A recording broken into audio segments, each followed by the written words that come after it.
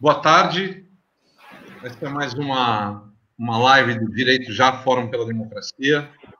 Uma, uma live muito especial, porém aqui num, num dia muito triste, onde o Brasil atingindo a marca de 100 mil mortes por Covid e 100 mil mortes que, se não todas, grande parte delas teriam sido evitáveis se a gente tivesse mais responsabilidade, mais compromisso público, mais, mais compaixão por parte do, do, do governo federal na condução das políticas necessárias para o enfrentamento desse verdadeiro drama que o mundo passa hoje. Mas é uma live muito especial porque nós temos aqui é, convidadas muito significativas para esse diálogo que nós faremos hoje sobre democracia e sobre feminismo. É, está, estão aqui a, a Eva Blay, a Eva Blay, que foi senadora de São Paulo pelo, pelo PSDB. Ela foi uma das pioneiras é, do estudo, da pesquisa sobre os direitos das mulheres no Brasil e fundou o Centro de Estudos é, de Gênero dos Direitos da, das Mulheres na Universidade Paulo, onde ele foi professora. Eu tive, inclusive, a honra de ter sido aluno dela. É, aqui, tudo bem, professora Bablai? Tudo bem, muito boa tarde. Muito obrigada pelo convite. Obrigado, professora. A, a Fernanda Melchiona, que ela é bibliotecária, foi foi vereadora de Porto Alegre por três vezes e é deputada federal, hoje líder da bancada do PSOL. Tudo bem, Fernanda? Oi, Fernando, tudo bom? Prazer estar aqui com, contigo e com, as, com a Letícia, com a Eva, com a Laína e com a Lídice. Obrigado e muito obrigado aí por todo o apoio e entusiasmo na construção do direito já, né? É, você, assim como a Lídice, estão com a gente desde o começo, e, e agora a Letícia, a Eva, a Lena, todos se somando nessa construção. Ah, quero cumprimentar a Lena Crisóstomo. Tudo bom, Lena? Lena, que é presidente do Tamo Juntas o, e participa do, do consórcio Maria da Penha e é uma, uma advogada feminista. Eu que agradeço por estar aqui, enfim, cercada de mulheres incríveis, podendo discutir um tema tão relevante para nós, né? Um cenário como a gente está vivendo. Enfim, só grata, obrigada demais. Legal, Léa. Você tem Salvador? Salvador. Ah, bacana. Tá aí pertinho dali. É. E a nossa, a nossa deputada federal Lídice da Mata é economista, foi vereadora e prefeito de Salvador, deputada estadual duas vezes, senadora e, pelo terceiro mandato, hoje deputada federal pelo PSB da Bahia. Boa tarde, Lidia.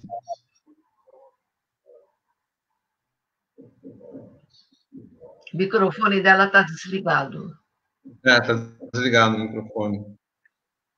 Boa tarde, Lidice. E, e você, Lidice, abriu. Boa tarde, Lidice. Bem, acho que ela, a Lídice não está nos escutando. É, vamos ver se ela reconecta. E a Letícia Tomazella, é, atriz, formada em arte dramática, ela já atuou aí por, por diversas redes, pela, pela Globo, SBT, Record, Multishow, HBO, é, premiada aí tanto no cinema quanto no teatro, e também uma ativista feminista. Muito feliz de, de tê-la conosco aqui, Letícia. Boa tarde. Boa tarde, Fernando. Boa tarde, Eva, Laina, Lídice, Fernanda. Estou super feliz de estar aqui. Eu estava pensando antes de entrar, falei, gente, eu não tenho nem roupa para estar com essa mulherada. é, é, muito. Estou muito feliz, obrigada. Bacana. Bem, eu vou é, propor um, algumas questões para o debate, mas fiquem muito à vontade para responder e para comentar as falas uma das outras, né? Acho que é importante a gente conseguir tricotar essa conversa e, Eu quero abrir aqui conversando com a Laina. É, Laina, você, você preside, estamos juntas, né? E você, vocês atuam dentro do consórcio Maria da Penha, que foi responsável aí pela, pela construção, a formulação da Lei Maria da Penha, que completou 14 anos na data de ontem, né? Tanto muito significativo que a gente faz hoje. É, essa lei, ela é considerada a, a terceira melhor lei de combate à violência doméstica do mundo, mas ao mesmo tempo, o, o Brasil ele continua como o quinto país do mundo com mais feminicídios, né? É, e agora a gente tem alguns dados, inclusive, que tratam de que é, com a pandemia o, o, número de denúncias por violência é, doméstica subiu 40% em relação ao mesmo período do ano passado e 22% de feminicídio. Né? Eu queria que você trouxesse, assim, na tua opinião, que acompanhou e que advoga é, é, a questão também da violência, como, o que você acha que pode ser feito, o que deve ser feito, além da, da, da lei, para que a gente possa enfrentar essa questão da violência contra a mulher? Gente, eu não e consigo eu também... ouvir vocês. A minha internet não está boa. E com essa plataforma é, é terrível toda vez que eu tento usar. Eu, eu, Lídice, eu vou pedir para o Vitor, da nossa equipe técnica, falar contigo e ver qual a solução que a gente consegue. É, Lena, completando a, tua, a, questão, eu queria também é, aproveitar e fazer uma, uma intersecção com, com, com outro tema. É, quando a gente fala desses dados da violência contra a mulher, se é, esses dados eles se equiparam no caso da violência sofrida por mulheres brancas é, e mulheres negras. Né? E aí, nisso, é, eu, eu, vou continuar a provocação aqui, é, no sentido que você pudesse falar um pouco também sobre é, a questão, a importância do feminismo negro né? nesse tema, em outros temas, como é que, como é que isso se costura, né? É, então, acho que essa é a, a, a primeira questão. Nossa, mas é coisa para falar em sete minutos, viu? Não, dava uma live inteira. mas, enfim, é, eu acho que ontem foi uma data muito emblemática para nós, né? A conquista da lei, eu acho que a conquista é muito simbólica e ela é muito potente. Eu gosto de dizer que não é uma data, uma data de comemoração, é uma data, na verdade, de reflexão a partir da conquista do movimento de mulheres, né? Porque nada veio de graça para nós, a lei não foi jogada no nosso colo, o governo acordou dizendo, nossa, vamos cuidar das mulheres. Não, não foi isso. Há um processo histórico da construção dessa legislação, inclusive um processo coletivo dessa construção. Acho que o consórcio Lei Maria da Penha tem esse trabalho, né, desde o início de 2002, começa a fazer né, esses debates amplos para poder entender um pouco sobre essa diversidade, essa coletividade da construção dessa lei. Não dá para a gente achar que a construção dessa lei seria algo fácil, algo simples.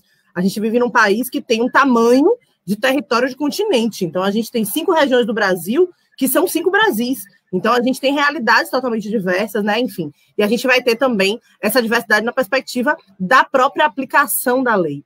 Eu acho que tem um grande problema. É, a Lei Maria da Penha, ela sim é a terceira melhor lei do mundo. E o mais potente da lei, apesar de chamarem, né? Enfim, já ouvi muita gente me chamar de feminista punitivista, porque eu defendo a Lei Maria da Penha. Mas há um grande problema nessa perspectiva, porque as pessoas não conseguem entender que a Lei Maria da Penha não está somente nos sete primeiros artigos. A Lei Maria da Penha é ampla e ela é tão boa e tão potente, ela serve de modelo para outros países, justamente porque ela não pensa apenas na perspectiva da punição, nem dos tipos da violência. Há uma tratativa da importância sobre educação, sobre a perspectiva de uma formação específica para a segurança pública, do acolhimento integral a essa mulher vítima de violência. A gente precisa criar delegacias especializadas, mas a gente também precisa, que a própria lei fala, da importância de centro de referência, por exemplo, de acolhimento à mulher. A gente precisa criar mais, mais casas abrigos, enfim. A ideia da lei é que seja algo extremamente amplo, inclusive na perspectiva educacional. Então, acho que a gente tem um grande entrave nesse processo todo, porque a lei é uma lei potente, é uma lei uma conquista feminista, mas a gente tem um problema que é um Congresso Nacional, enfim, né? Que tem, graças, né? Enfim, eu acredito em orixá, então, graças a orixá, as ancestralidades, enfim, as divindades, quem queira, É, mas eu acho que a grande potência é que a gente ainda tem quem faça contraponto lá dentro. Mas, infelizmente, a gente tem um Congresso Nacional extremamente fundamentalista, extremamente conservador, em que a própria Lei Maria da Penha é questionada. É questionada sobre a sua constitucionalidade, mas, para além disso, sobre a sua aplicação plena, né? Porque quando a gente pensa em educação, há um debate absurdo e distorcido de que dialogar sobre gênero nas escolas é ideologização. Não dá para a gente não fazer esse tipo de reflexão, porque a gente precisa muito, cada vez mais, dialogar sobre gênero nas escolas.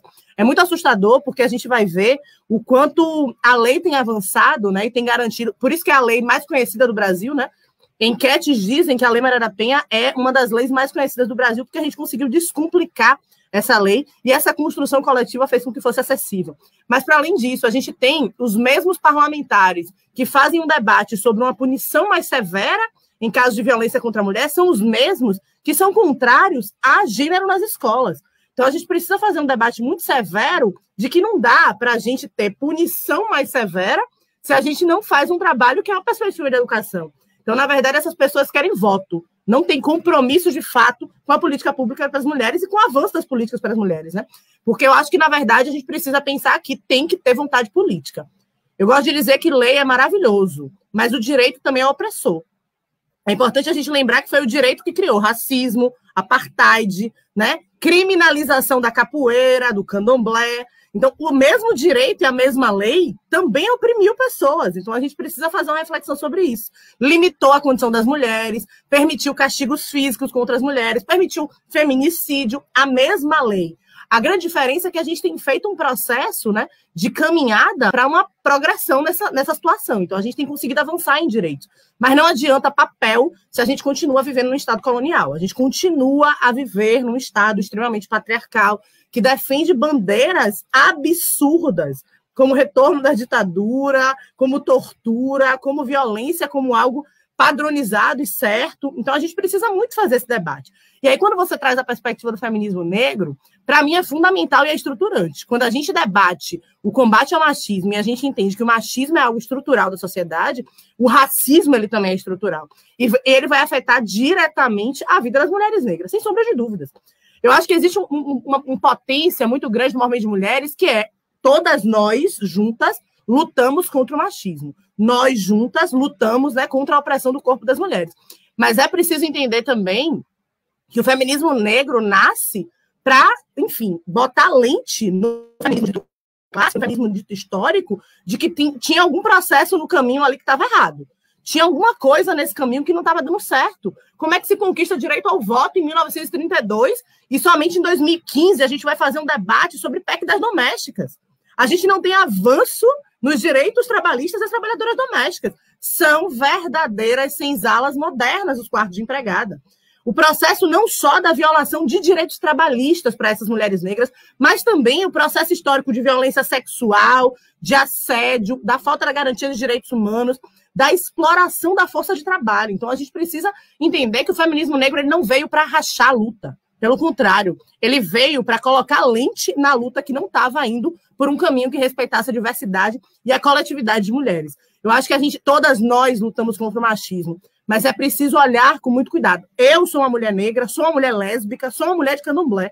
Então, para mim, sou uma mulher gorda, então eu carrego muitas vulnerabilidades no meu corpo. Então, o feminismo básico de dizer que todas as mulheres são iguais, não, não dá para fazer mais isso. Eu, enquanto mulher negra, não sou igual a todas as mulheres negras. Eu, enquanto mulher lésbica, eu não sou igual a todas as mulheres lésbicas. Então, carregar vulnerabilidades significa também a gente pensar sobre essa perspectiva das especificidades. E o feminismo negro vem exatamente para poder, enfim, colocar o dedo na ferida, porque se a gente quer debater equidade, a gente precisa debater equidade trazendo todas as reflexões de todas as pautas. E aí eu estou falando enquanto mulher negra, mas a gente precisa pensar numa perspectiva interseccional, a gente precisa pensar nas mulheres LGBT, a gente precisa pensar nas mulheres com deficiência, a gente precisa trazer todas as pautas das mulheres, porque nós não somos todas iguais. Esse é um debate. E eu acho que o feminismo negro vem justamente para poder dialogar sobre isso. E sem sombra de dúvidas, quando a gente fala sobre o feminismo negro e a luta das mulheres negras, a gente tem que falar sobre dados.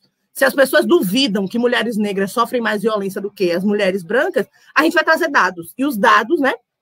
Fórum Brasileiro de Segurança Pública, diz que 180, todos os dados mostram que, historicamente, né, nos últimos anos, há uma diminuição da morte, do assassinato violento de mulheres brancas, né, da, no número de violência sofrida por mulheres brancas, e há um aumento absurdo e avassalador contra as mulheres negras. A gente precisa fazer essa reflexão, porque esse debate é um debate que não influencia somente no acesso à segurança pública nem à justiça. Isso vai afetar as mulheres negras, por exemplo, no acesso ao mercado de trabalho, no acesso à saúde. Quem somos nós, por exemplo, hoje acessando a saúde? Nós somos as que mais morremos por violência obstétrica, por mortalidade materna, pela falta de assistência à saúde. Nós acessamos menos a perspectiva educacional. Então, a gente precisa muito fazer esse debate para que é, não seja encarado esse feminismo como um feminismo, como as pessoas dizem, né? Raivoso, quer rachar a luta, quer problematizar. Sim, a gente quer problematizar, mas problematizar para poder fazer uma construção coletiva, diversa e verdadeira, em que as mulheres sejam tratadas com as suas especificidades. Nós não somos todas iguais, mas lutamos contra as opressões e contra a violação de direitos humanos de todas as pessoas. Acho que é isso. Muito obrigado, Laena. E, e agora e agora a professora Eva Blay. Professora, é, a senhora quando foi senadora por São Paulo, pelo PSDB, a senhora foi é, autora de um projeto pela legalização do aborto. E, e na época, é, esse projeto teve muita resistência. Inclusive, a senhora, no, no próprio Congresso Nacional, é, sofreu com, com, tentativas de violência, com insultos, né? foi, foi muito tumultuado a, a, defesa que a senhora fez naquela época. Eu queria que a senhora pudesse traçar algum paralelo entre como a sociedade brasileira é, enxerga as, enxergava as pautas feministas naquele período, né, início da década de 90, como, como a sociedade brasileira vê hoje as principais pautas, as pautas feministas. E aí eu queria é, é, trazer uma, uma questão de se essas bandeiras são as mesmas, se, se teve é, mudanças significativas nessas bandeiras, e, e, também entender uma coisa: diante de um governo de, de extrema-direita, é, é natural que haja um recuo tático em algumas dessas bandeiras e, e outras outras bandeiras, outras urgências surgem, ou, ou não. É, as bandeiras são as mesmas e, e, e, segue a mesma luta sem, sem nenhuma alteração pelo fato de ter um governo de extrema-direita. Professora, precisa ligar só o microfone.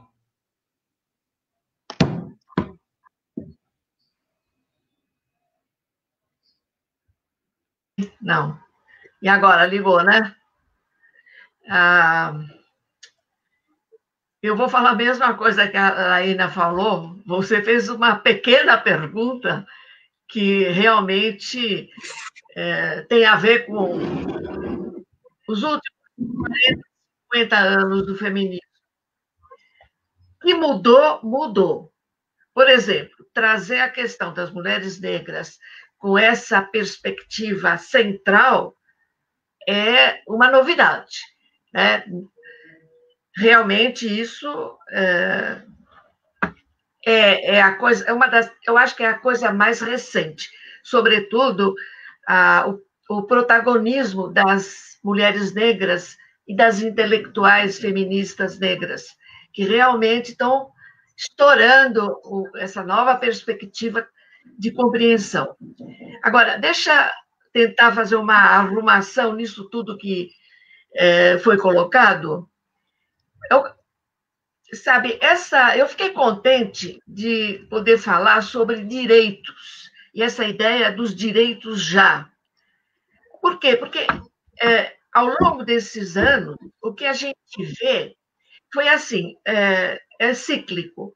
Nós temos momentos de democracia, momentos de ditadura, outra vez momentos de democracia, e agora eu acho que estamos para uma, uma retomada fascista mesmo. Eu uso esta expressão.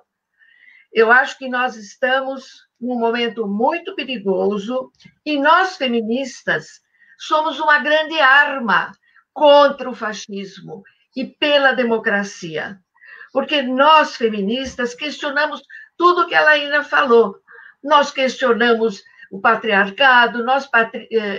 Questionamos o direito que os, os outros têm sobre o nosso corpo. Quem são aqueles 500 deputados, dos quais 90% são homens, para decidir se eu vou ou não fazer um aborto? O corpo é meu. E aí vem toda uma questão religiosa. Cada um vai, vai resolver o problema à sua maneira, dentro da sua perspectiva, das suas, da sua ideologia, da sua religião. Agora, o que aconteceu no Brasil, e é por isso que é importante nós falarmos de democracia e feminismo. Você pode ter democracia, mas você não vai ter uma democracia e o feminismo juntos. O feminismo, ele rompe todos os limites que a democracia coloca sobre nós mulheres, especialmente.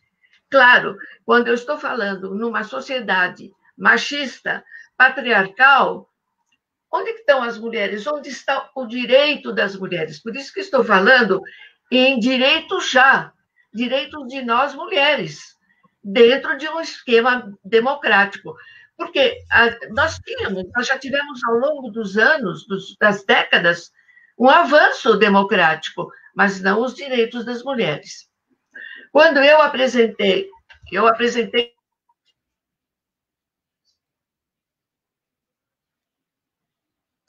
Professora, o seu microfone.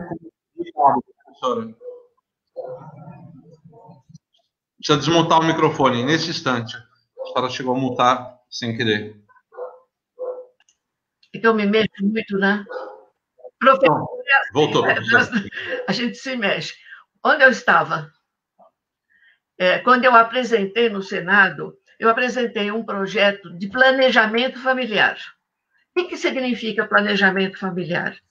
Significa que nós temos postos de saúde, nós temos o SUS, nós temos é, várias entidades ligadas à saúde, e é a coisa mais normal e decente nos países civilizados é você dar orientação para que as pessoas decidam se vão ou não vão ter filhos e quantos filhos vão ter. E quando acontecer de você não querer ter filhos, você seja informada dos métodos que existem para que você evite uma gravidez indesejada.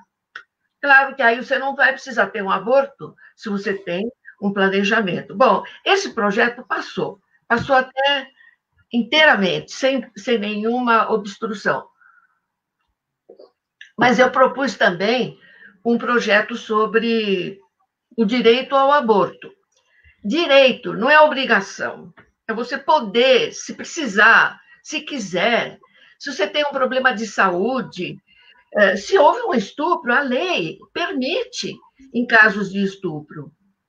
Agora, o que está acontecendo neste? Bom, lá foi uma briga. Eu fiz um, um grande debate, trouxe gente de todas as religiões. A minha religião não tenho nenhuma obstrução, eu sou judia. O judaísmo permite, é a mulher que decide. Mas tudo bem, né? Cada um tem a sua, a sua posição. Agora, é, eu fui mesmo muito maltratada, porque teve um grupo é, carismático que fez uma, um, uma procissão nos corredores do Senado, xingando, né, chamando, diabolizando o projeto, e foi horrível. Se não fosse a Benedita da Silva, eu acho que tinham me matado, porque ela estava lá e chamou a segurança. Bom, é, de qualquer modo, o projeto parou e é um projeto absolutamente necessário, porque nós, quem é que faz um aborto?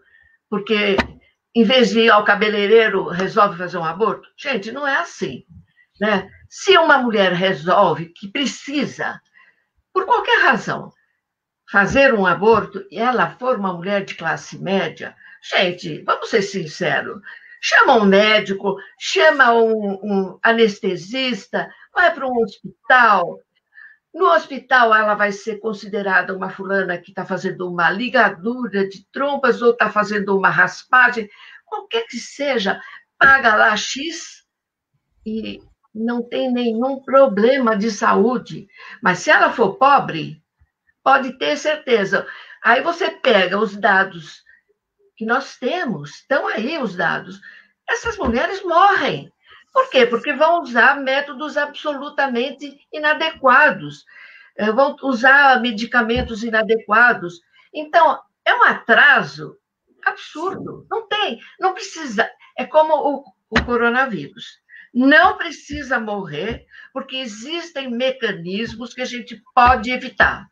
Você não precisa morrer nem uh, por uma questão de aborto e muito menos por uma questão de não ter um tratamento.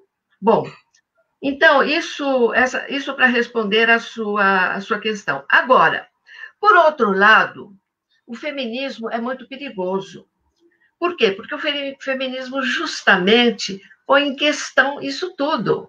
Por que, que vocês acham que este governo que está aí é tão contra gênero, é tão contra nós discutirmos na universidade esses problemas relacionados com o feminismo.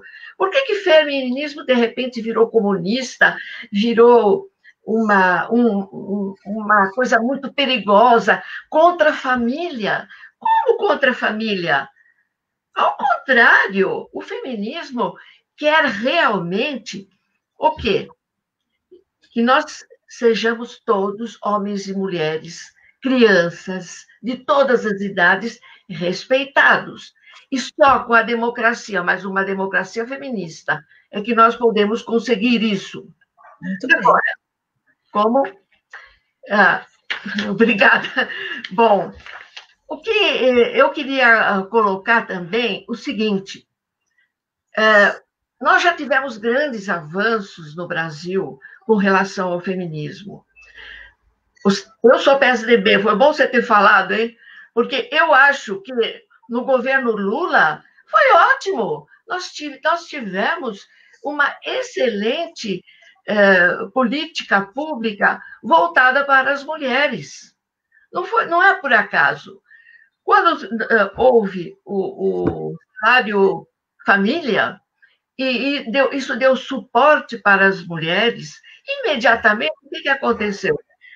Diminuiu a mortalidade infantil, as mulheres voltaram para a escola, se profissionalizaram e o nível de vida melhorou muitíssimo.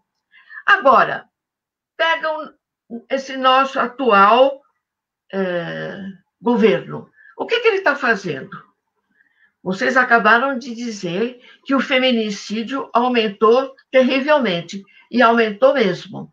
Aumentou por quê? Porque com essa é, pandemia, as mulheres têm que morar em em casas pequenas, os seus companheiros nessa mesma casa, e a situação que já não era boa fica pior. E aí a violência aumenta. E aumentando a violência, aumenta o número de mulheres assassinadas. E aí, o que, que faz a ministra Damares? Você sabe o que ela está fazendo? Ela propôs agora melhorar a família e como que ela está. Ela, que é solteira, aliás, né? Propõe melhorar a família através do quê? Está fazendo um documento, uma cartilha para as, para as famílias. Então, nós vamos diminuir o feminicídio com uma cartilha? Então, veja, nós estamos voltando de uma situação democrática para uma situação fascista, de perseguição das mulheres de perseguição da família. Não é por acaso. Esta família, para eles, tem que ser assim: papai e mamãe. Aliás, o próprio presidente disse: esse negócio de vocês ficarem ensinando educação sexual para jovens, não, isso tem que ensinar em casa. Outro dia eu estava na Assembleia Legislativa aqui de São Paulo, eu perguntei para o auditório inteiro: Onde é que os seus, os seus filhos aprenderam? Aprenderam na sua casa a orientação sexual, como o presidente está dizendo que tem que ser? Papai e mamãe é que vai ensinar? Ah, faça-me um favor. Papai e mamãe não ensina coisíssima nenhuma. As crianças vão aprender na porta do banheiro. Gente, vamos ser sinceros. Então, tínhamos excelentes cartilhas educacionais feitas pelo Ministério da Saúde e da Educação, e agora vem eles e vem eles com essa alternativa de que esses eh, documentos de orientação sexual estavam desencaminhando as crianças, estavam sendo eh, induzindo as crianças a, a se masturbarem.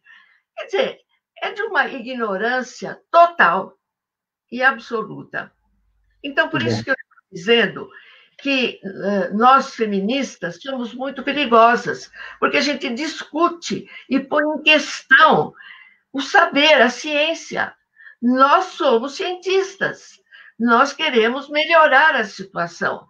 E o saber, o saber científico, para que, que ele serve? Se não é para justamente colocarmos leis adequadas. A Laína falou sobre a Lei Maria da Penha. Acompanhei toda a construção da Lei Maria da Penha. E, e precisamos tomar muito cuidado, porque estão querendo agora, cada vez, mexer outra vez na Lei Maria da Penha. Ao invés de implementar, aumentar a Lei Maria da Penha, fazer tudo aquilo que ela propõe, não. Aí cada vez querem fazer algumas alterações. E eu lembro para vocês que eu também fui é, no governo Montoro, fui, eu fui uma das pessoas que, junto com o Temer, vamos dar o nome aos bois, criamos a primeira delegacia da mulher. Onde é que estão as delegacias? Onde estão? Quantas são no Brasil inteiro? Não dá nem para ter 10 para cada município. Não dá. Não temos. Então, não tem treinamento, não tem delegacia. E nós vamos falar que nós queremos melhorar a qualidade de vida da população. Sim, nós queremos, mas vamos dar direitos às mulheres e aos homens. Os homens também têm que ser reeducados. Nós temos homens e mulheres numa sociedade que pode ser harmônica. Eu acho que hoje os jovens acordaram, muitos já acordaram e já estão entendendo que não é pela violência que você pode modificar a sociedade.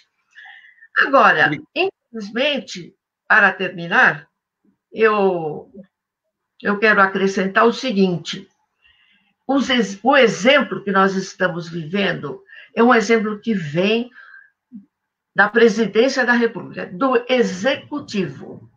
Executivo, eu não estou falando nem do Senado, nem da Câmara. Estou falando do Executivo. Quando você pega um presidente da República que assedia sexualmente uma jornalista, assedia moralmente uma mulher que está trabalhando na porta eh, do, do Palácio do Planalto, que, que você pode esperar? Nós só podemos, eu acho que a gente só pode esperar mudar esse governo. Obrigada.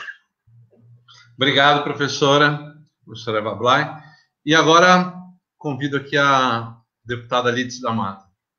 Lídice, é, você tem uma, uma longa trajetória política, né? além de prefeita de Salvador, passou por diversas, diversas casas parlamentares. Né? Passou pela, pela Câmara Municipal de Salvador, pela Assembleia Legislativa da Bahia, pela, pelo Senado Federal e, e pela Câmara dos Deputados, onde está agora pelo terceiro mandato.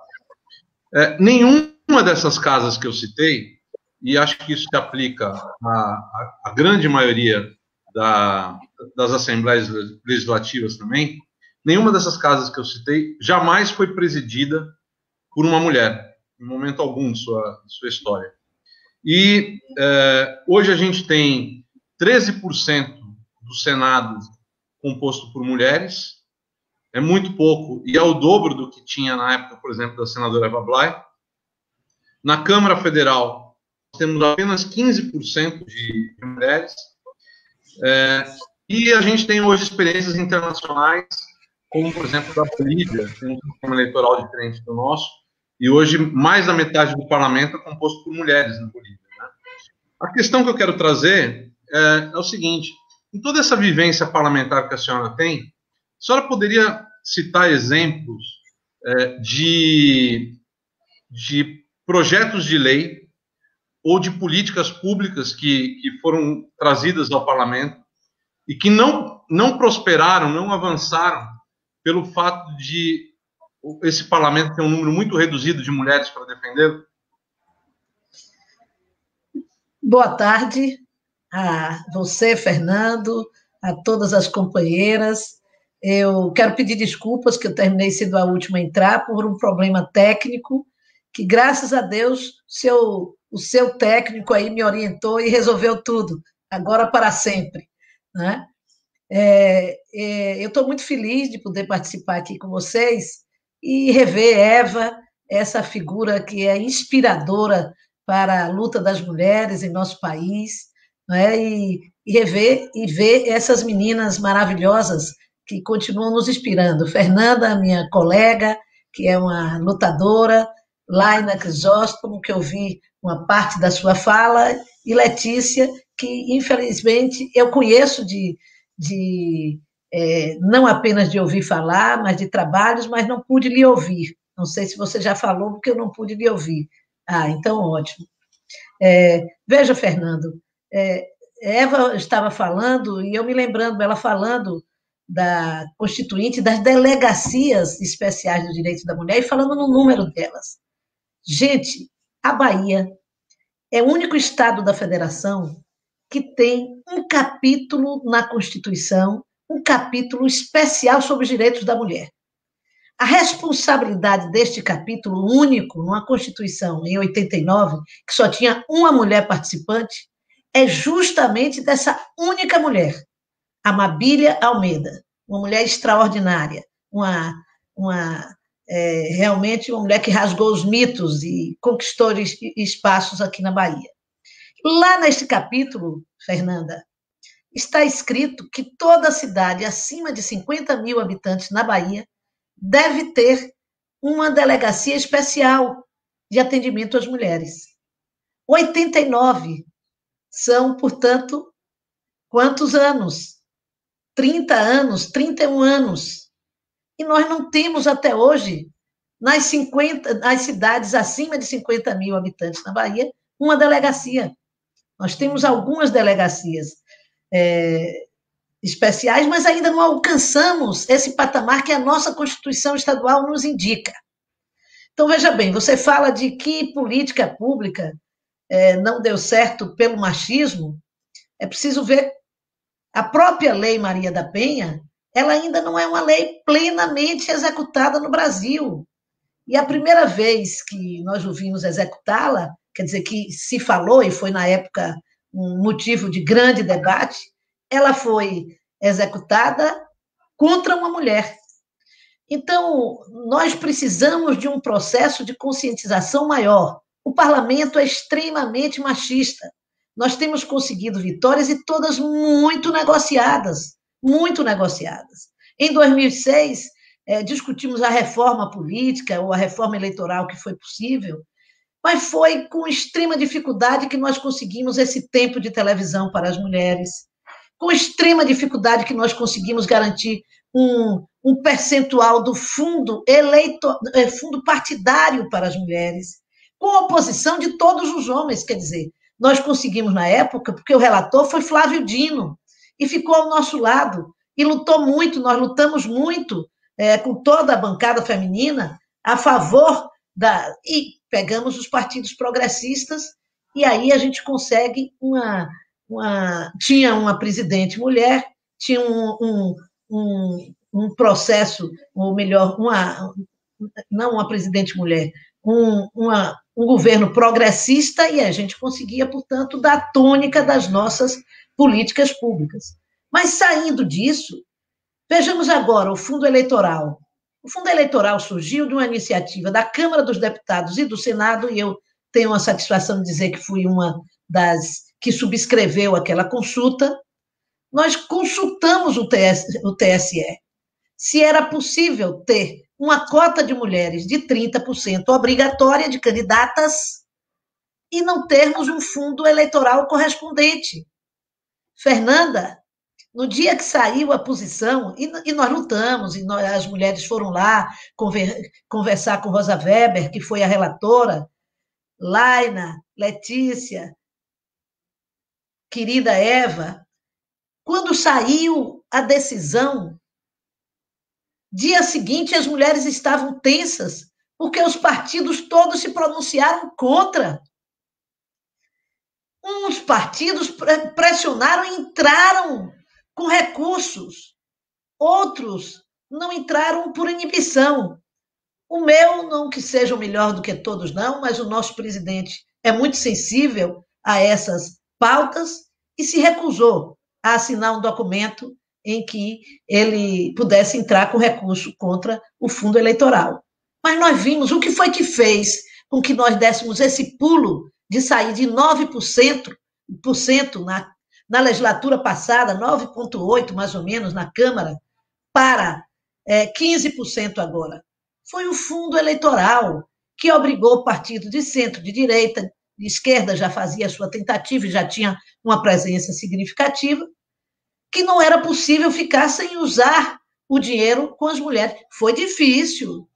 Foi internamente foi difícil nos partidos, uma reclamação grande dos candidatos ao governo do estado, e nós enfrentamos aquela batalha, terminou a batalha política com esta vitória de elegermos mais mulheres, independente do contexto político ideológico de cada uma.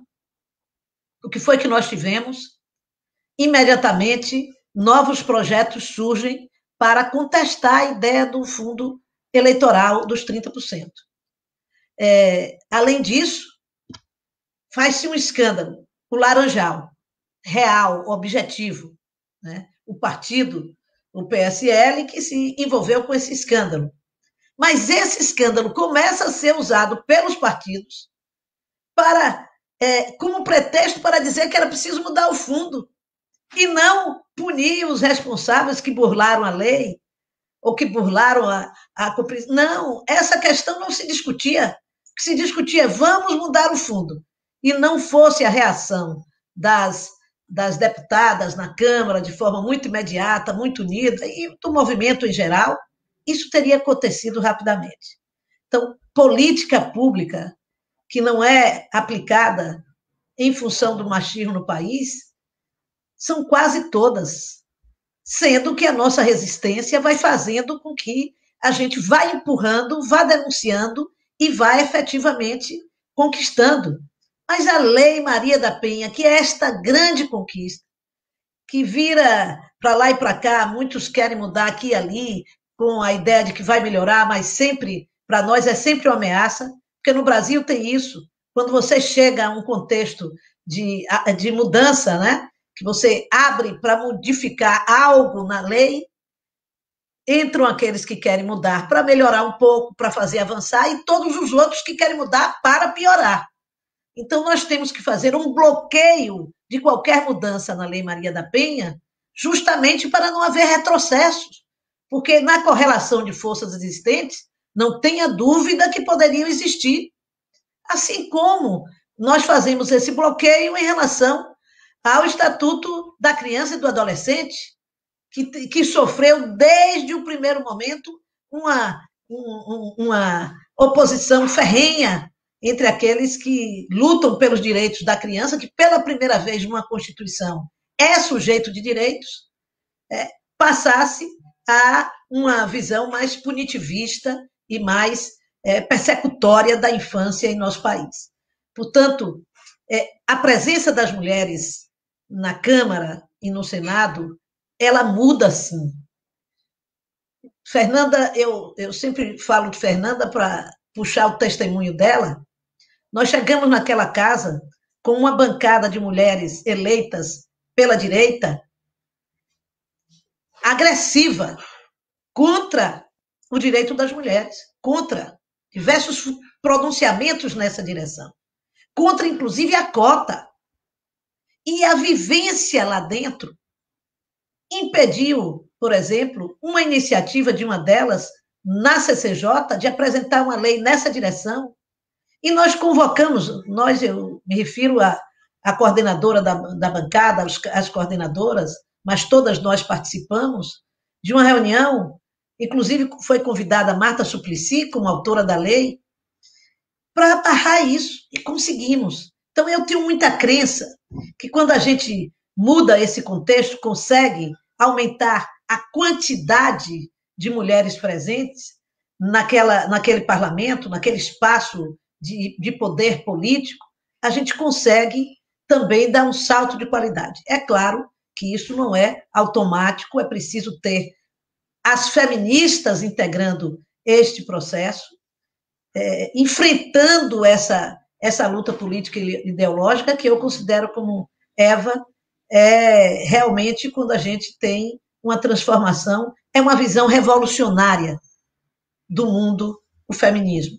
E a incorporação do feminismo negro muda também esse contexto. Ela vai, vai, vai falar para uma, uma, uma parcela significativa das mulheres, da maioria das mulheres. Eu falo no lugar de uma, uma parlamentar de um Estado que se reconhece de maioria negra. E eu sou de uma região onde a maioria negra é indiscutível que é o Recôncavo Baiano. A cidade onde eu nasci, Cachoeira, é uma cidade de maioria total de negros, é, é, São Francisco do Conde, Candeias, é, Muritiba, é, São Félix, eu me refiro às cidades todas ali no entorno, e vindo a finalizar com Salvador também. Então, nós sabemos que a base da pirâmide social deste país são as mulheres negras. E se nós queremos falar de feminismo, de transformação, de modificação dessa estrutura de afastamento do poder e dessa estrutura de, de discriminação radical, de direito já, é preciso falar da mulher negra e da necessidade de sua inclusão, em todos os sentidos. Precisamos superar o racismo, precisamos superar o machismo, e para isso nós precisamos da sociedade, dos negros e não negros unidos nessa dimensão das mulheres e também dos homens é, progressistas unidas nessa direção, para que a sociedade melhore. Muito obrigado, deputada Lides Mata. E agora, deputada Fernanda Melchiona. Deputada, é, você, você foi uma, uma grande entusiasta do, do dia 29 de setembro de 2018, né? Foi a data que foi organizada todas contra Bolsonaro, né? É, eu participei aqui em São Paulo também é, e foi impactante. Acho que foi o maior ato da campanha, né? E, e organizado por mulheres. É, essa experiência de ativismo das mulheres na política com essa força tem outros exemplos internacionais e é, saiu mais uma pesquisa hoje sobre Bolsonaro para 22, né? E é uma pesquisa do, do Poder Data que está dando para o Bolsonaro 38% né, das intenções de voto para 22. Só que no recorte ele tem 50% de apoio entre os homens e apenas 27% de apoio entre as mulheres. Então, eu queria que você pudesse é, é, trazer aqui o porquê dessa diferença abissal entre, entre o, o, a intenção de votos entre homens e a intenção de votos entre mulheres.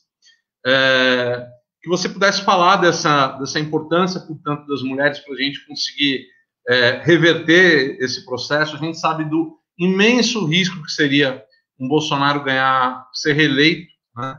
e, e, portanto, o papel central que as mulheres têm nisso. Você escreveu um artigo é, para o 29 de setembro de 2018 que você termina dizendo é, as flores vencerão os canhões.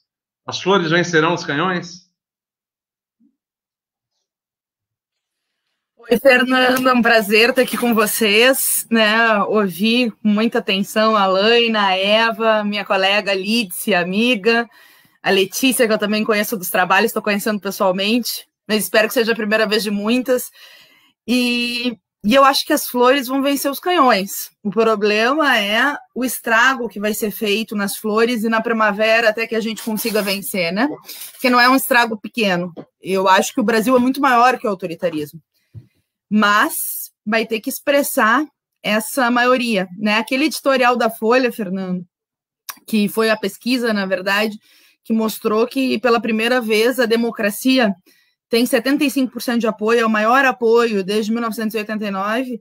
Eu não acho que seja um raio no céu azul, eu acho que também já é um balanço das medidas autoritárias do governo Bolsonaro e do próprio Bolsonaro. Ele, para mim, é um protofascista mesmo. Não conseguiu transformar o governo em fascista porque teve, teve resistência.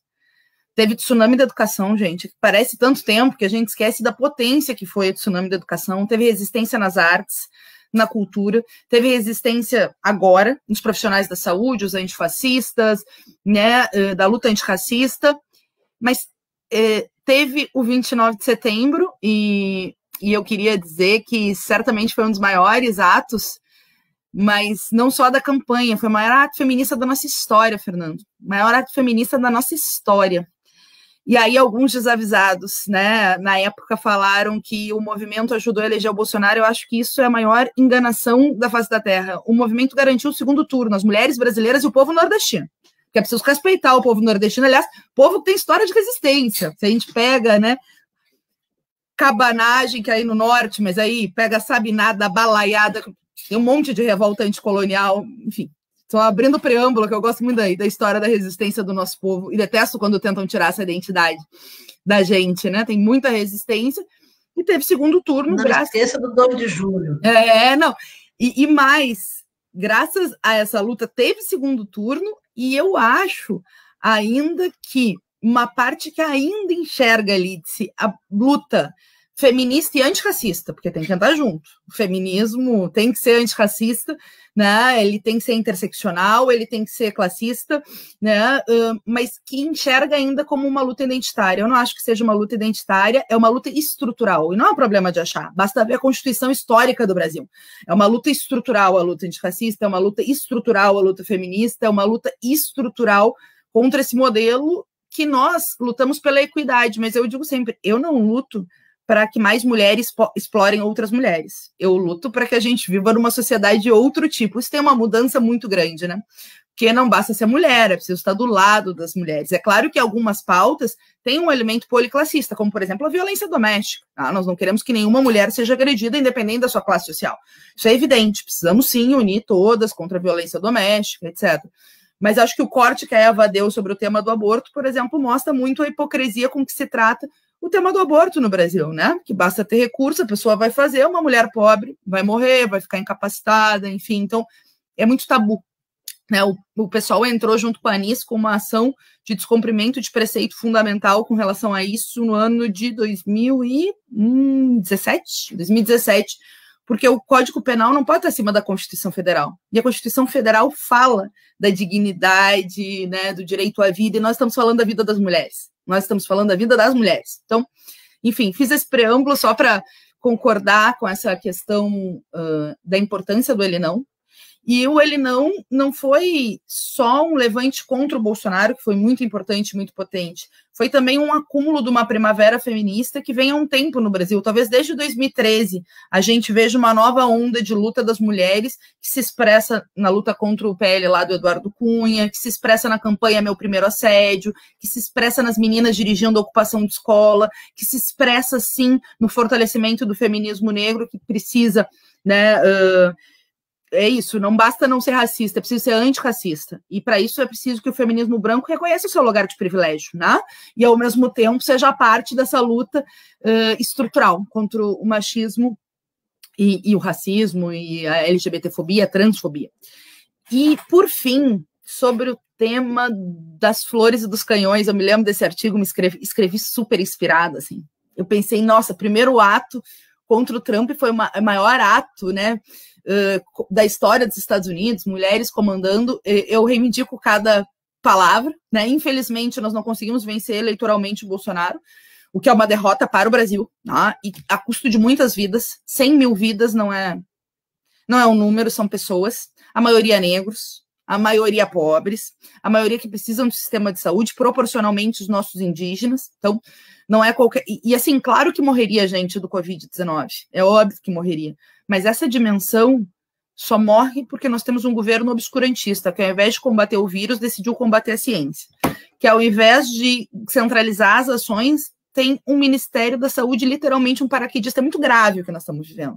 Nós não podemos, não podemos banalizar ou naturalizar, sabe? Porque já são quatro meses de pandemia, mas é, é muito grave. Eu acho que tirar o Bolsonaro é uma medida sanitária. Claro que depende da correlação de força, é evidente que nós queremos que em 2022 ele não ganhe, mas a gente precisa derrotar ele agora e criar essa correlação, a correlação de força para tirá-lo agora do poder. Né? É, é um desafio histórico para nós. A gente está mediado pela pandemia, a gente perdeu né, a possibilidade de estar nas ruas, porque a gente não é obscurantista que nem ele, mas os panelaços que aconteceram em março foram muito importantes. Quando a gente entrou com o pedido de impeachment lá em 18 de março, eu, o David, a Samia Bonfim e 200 intelectuais e artistas, a gente coletou um milhão de assinatura em 13 dias. Depois todos os partidos entraram, que é muito bom, né? O PDT, o PSB, a Rede, o, o PSOL com o PT, o P, PCB, enfim, todos os partidos entraram. São 50 pedidos de impeachment. Tem a cassação da chapa no TSE.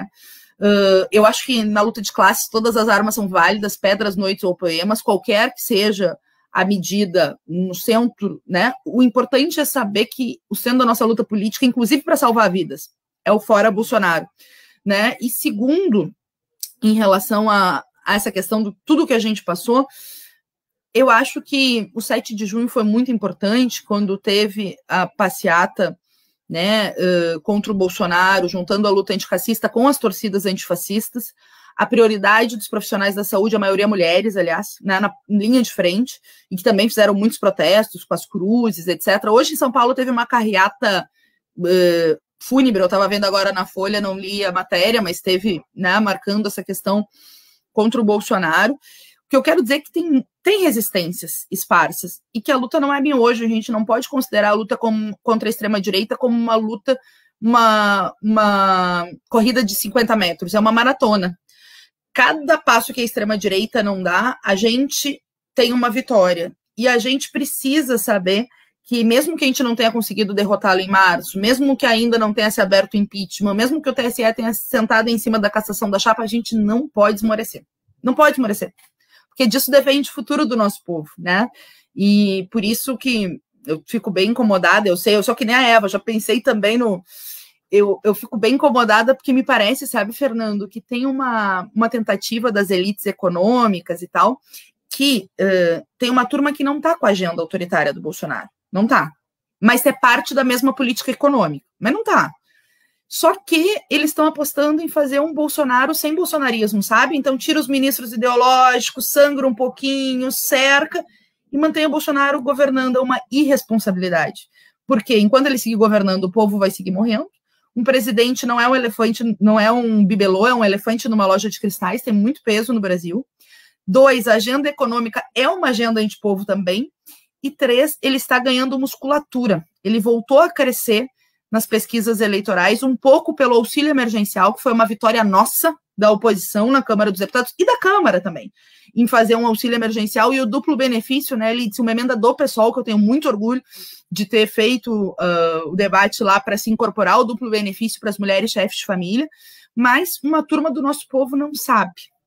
Então a gente precisa ser paciente, explicar, mostrar que o Bolsonaro foi derrotado no auxílio emergencial e mostrar que é preciso, enfim, construir as condições que é preciso tirá-lo. Tirá-lo para defender as liberdades democráticas, eu digo sempre, quero concluir por aqui, porque eu não gosto do termo democracia em abstrato, sabe por quê? Porque eu acho que nós nunca vivemos uma democracia no Brasil. A gente tem liberdades democráticas importantíssimas conquistadas na Constituição de 88. Mas um país que a cada 23 minutos um jovem negro é morto, não é uma democracia que cinco bilionários têm a mesma renda que 100 milhões de brasileiros, não é uma democracia. Que a gente vê uma vereadora ser assassinada pelas milícias que uma carreira pela frente. E não é só a Marielle, gente. Foi a Dorothy Stang, foi, enfim, um monte de defensores de direitos humanos, muita gente que luta, indígenas serem assassinados pela turma do atraso, né, do, do, do ruralismo atrasado. E a justiça não é efetivada, porque a gente tem uma justiça de classe no Brasil. Porque a gente tem um domínio do capital tutelado por liberdades democráticas conquistadas. Nós queremos defender essas liberdades democráticas conquistadas, é evidente. Nós não queremos retroceder nenhum direito delas, mas não para um retorno ao passado. A gente precisa construir um novo futuro. E esse novo futuro, se não for feminista, antirracista, anti-LGBT-fóbico, se não for de defesa dos interesses das, da classe trabalhadora, infelizmente, a gente pode viver um, uma, uma barbárie, né? uma combinação da crise econômica, crise política, crise ambiental, que já vinha antes da pandemia e só foi potencializado pela pandemia, que de fato coloca em risco muito o futuro nosso e das próximas gerações. Então, eu acho que o feminismo e a nossa luta, né, que o, o, título do debate, democracia e feminismo, eu acho que a luta das mulheres, a luta feminista, com todos esses recortes, que não são recortes, toda essa característica do feminismo que a gente defende, ela é estrutural. A extrema-direita nos mira, quer nos botar de novo na cozinha, como se fosse possível, porque nós não vamos, a não ser que a gente queira, né, óbvio. Eu, inclusive, na pandemia, voltei às vezes a cozinhar, sabe, Lids? Mas assim, só se a gente quiser, não por uma definição histórica de onde vão nos botar, eles se enganam muito, mas eles querem nos botar porque o machismo é estrutural. Só pode ter uma política pré-iluminista, como eu chamo esses extrema-direita da vida, se tiver a repressão sexual, se tiver o condicionamento, né, a divisão sexual do trabalho, a tentativa de nos colocar de novo num lugar que a gente já saiu faz tempo e certamente não vai ser o Bolsonaro que vai nos botar de novo, ao contrário. Acho que nós vamos botar ele no lata do lixo da história, que é o lugar dele e do fascismo. Muito obrigado, Fernanda, deputada Fernanda Melchiona. E agora a Letícia Tomazella. Letícia, é, eu vou puxar aqui a pergunta partindo um pouco aqui do, da, do teu trabalho. O ano passado você fez a, a Arlete na novela As Aventuras de Poliana. E, e você tem hoje é, quase meio milhão de, de seguidores é, nas redes sociais, e você estava me contando que 80% são de, de mulheres, né? na maioria é um público de adolescentes. E eu queria um pouco que você pudesse trazer, a gente está falando aqui, a Fernanda estava reforçando esse momento de muita força do, do feminismo, né?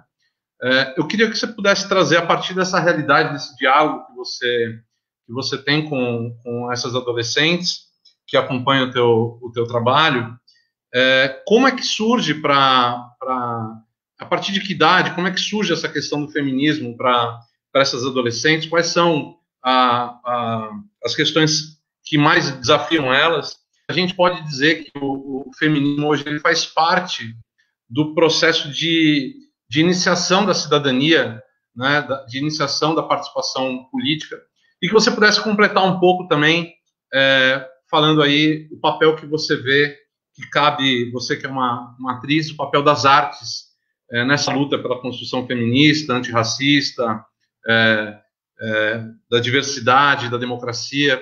Um pouco isso que eu queria perguntar para você.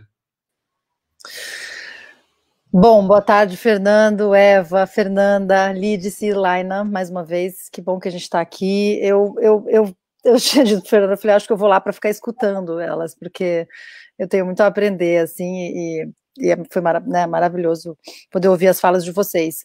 O que me cabe, né, assim, nisso tudo, nessas reflexões todas, é que, bom, eu tinha dito para o Fernando, eu falei, bom, Fernando, eu não sou política, embora a política é eu existo e, portanto, sou um ser político, né? Mas assim, vocês entenderam, não é não como ofício. É, e, e, ao mesmo tempo, embora seja uma estudiosa de feminismo, não, não me considero especialista nisso. Mas eu sou um corpo feminino no mundo, é, cis, é importante dizer, branca, é importante dizer, que come todos os dias, que estudou, que teve a oportunidade de fazer ensino fundamental, médio, é, é, é curso universitário, pós-graduação, mestrado, quer dizer, que teve oportunidades de em universidade pública, mas que o que me levou até lá, obviamente, foi toda a estrutura que, que eu sei que me, que me garantiu isso, e eu sei o tanto de gente que não, não vai chegar é, a estudar, e outros que vão, mas enfim, a gente sabe dessa realidade toda. Nesse sentido, então, é, eu tenho tentado deixar, assim, eu tenho uma rede social que acessa esses adolescentes, e essas adolescentes, eu tenho tentado deixar claro sempre de que lugar eu falo. Mas eu sei que lá eu falo com pessoas, sobretudo porque o público do SBT é um público mais popular, eu falo com pessoas, às vezes, não sempre, mas de uma classe social mais baixa, que mora em bairros periféricos, que às vezes a criança estuda, mas o irmão mais velho já parou de estudar, e mil coisas assim. Então, você começa a ver quem é o teu interlocutor ou a tua interlocutora. Eu sinto assim. É, o papel das artes, eu vou entrar um pouco depois nisso. Eu acho que primeiro eu queria falar do papel do artista nisso, enquanto que sabendo que os adolescentes hoje vivem enfiados nas redes sociais quando eles têm internet. É, qual é que essas, esses meio milhão de seguidores que você falou, né? Qual é o meu papel diante dessas pessoas que estão me vendo lá? O que, que, que, que eu quero passar? Então, por exemplo, onde que também a estrutura machista vai pegando nas adolescentes? Que se por um lado elas não são casadas e não, não sofrem violência doméstica de um marido, ou às vezes sofrem de um pai, ou não, ou nem tem o pai, mas de qualquer maneira elas são, de modo geral, ainda meio crianças.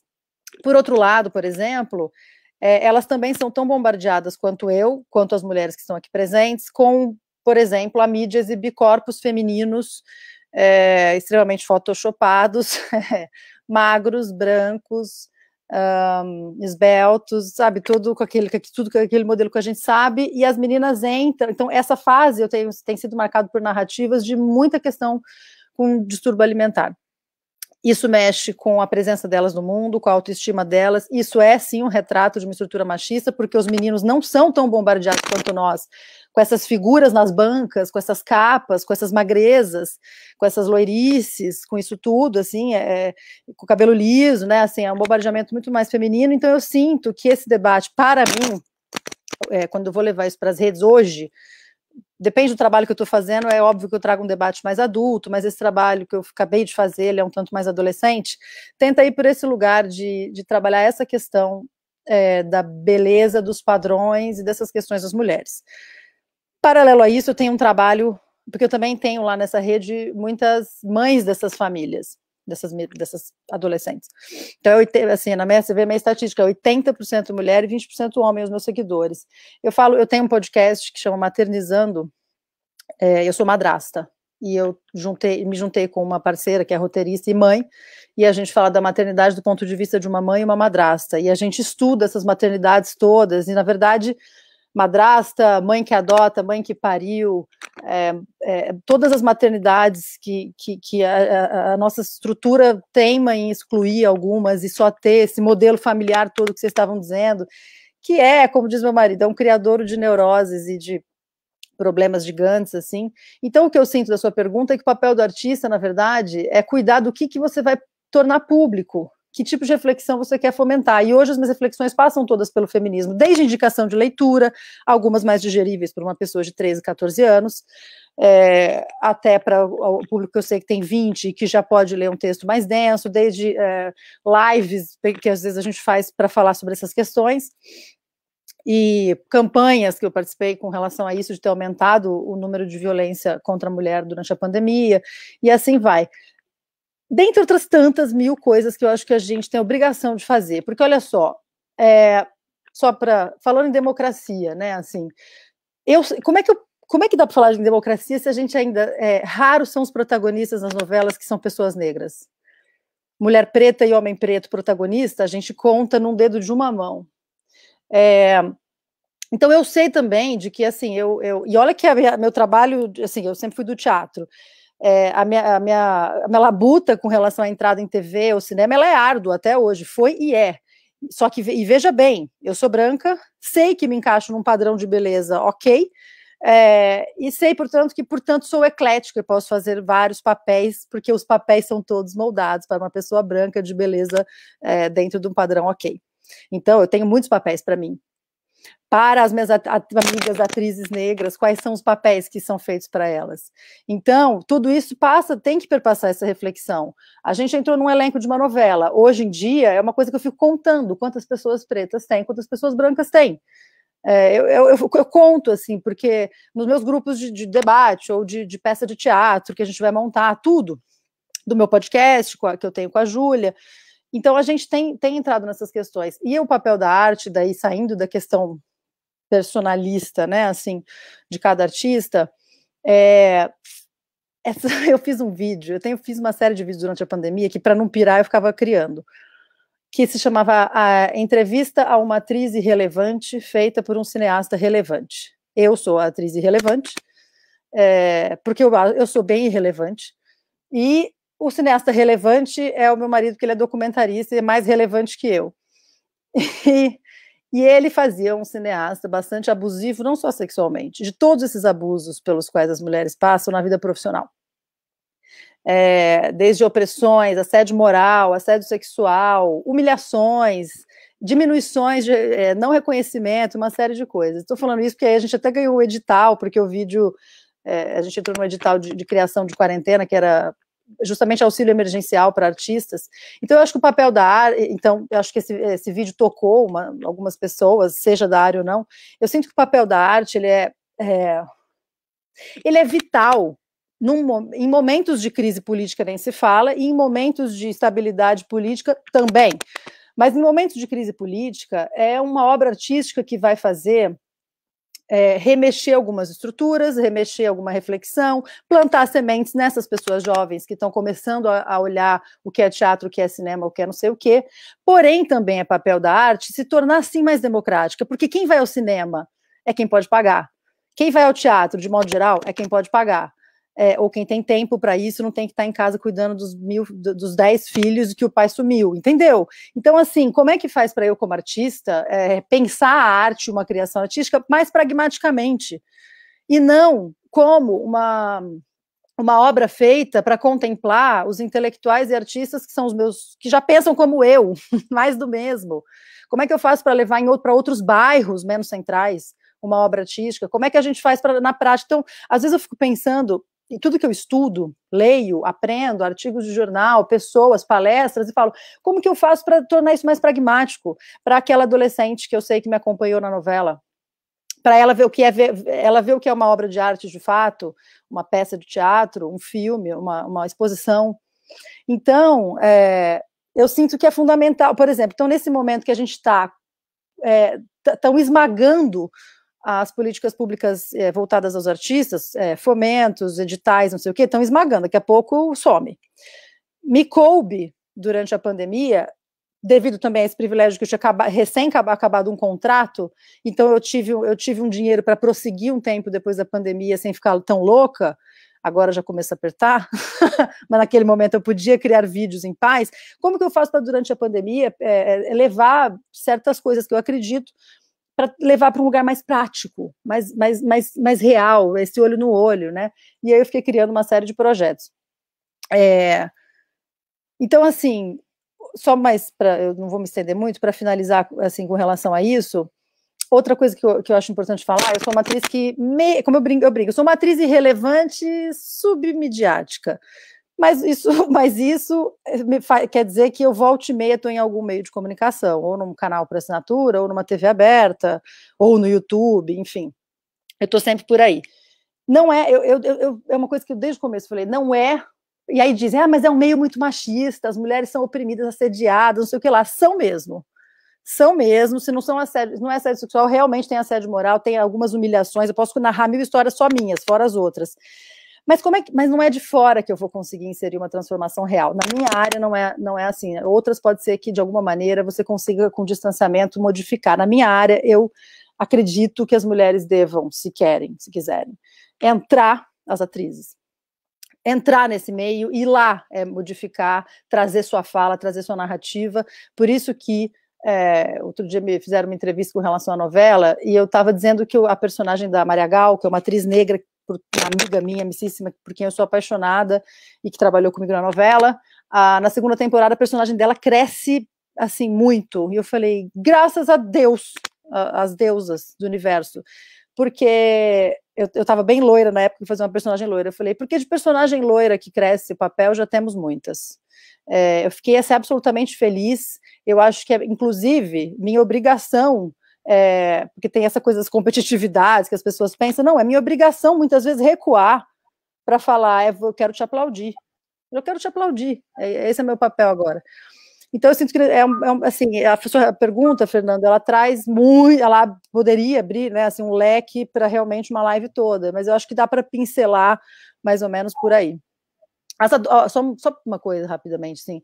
As adolescentes, sobretudo, que ainda estão tá, nessa fase muito frágil, né, pensando nesse meu público adolescentes, adolescente, elas realmente sofrem é, profundamente, assim, na, na pele, mais do que uma mulher adulta que já está mais cascuda como a gente, né, sofre profundamente a, a, a força dolorida do que é, do que a nossa sociedade machista faz e é com elas que eu quero continuar dialogando um tempo, com essas meninas que um dia vão ser mulheres, assim. Acho que é isso. Não sei se respondi. Vocês me escutam? Oi, agora eu escutei. Para mim aqui sumiu a, Letícia, mas eu estou falando, em, supondo que ela terminou de falar. É, eu quero seguir aqui voltando a pergunta para a Lides da Mata. Deputada, é, eu queria que a senhora pudesse fazer como é que a senhora vê a, a ação do Ministério da Mulher, da Família, portanto, a, a política de direitos humanos, e, e também se a senhora pudesse comentar a pesquisa de hoje trouxe aqui é, do Bolsonaro com as famílias de renda mais baixa, né, e inversamente é, a ele de 18, ele agora passa, ele está com 18% de apoio entre os 10, os que acham mais ricos, com 10 salários ou mais, em termos de renda da, da população. Então, é, como, é que é a estratégia do, do, do bolsonarismo de, de horas e, e agora é, essa pesquisa trazendo essa mudança de faixa de renda? Isso tem a ver com, com o Bolsa, o auxílio emergencial? Como é que a senhora vê essa, essa questão? Olha, Fernando, eu não sei se eu escutei tudo, porque foi um pouco entrecortada, tanto a sua imagem quanto o, o som, mas é, a, no caso da Damares, a política pública é, dirigida pelo Ministério de Direitos Humanos, família, não sei o quê, é, mulher, é, é, terrível. Ela não tem uma política, ela está, na verdade, desconstruindo as políticas públicas de direitos humanos, e digo isso, inclusive, do direito do idoso, por exemplo, que é uma política pública que se esperava uma certa unanimidade em termos de política pública. Né? Foi. É, Acabou-se com o, o Conselho Nacional do Direito da Pessoa Idosa, que tinha 28 é, é, é, membros, passou a ter seis, né?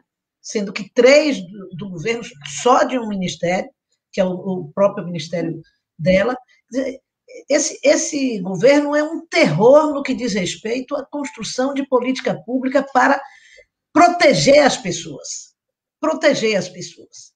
Proteger a infância, proteger a, a, as mulheres, proteger a, a saúde, proteger os idosos, proteger a população negra. Não existe. Tudo isso é, é, são políticas que eles consideram é, referência de um, de um entendimento é, político ideológico e eles em contrário ao que eles pensam, em contrário ao que eles pensam. Então eles tratam de atacar duramente essas políticas. Assim fazem também na política cultural, que nós estamos assistindo a mais um desastre.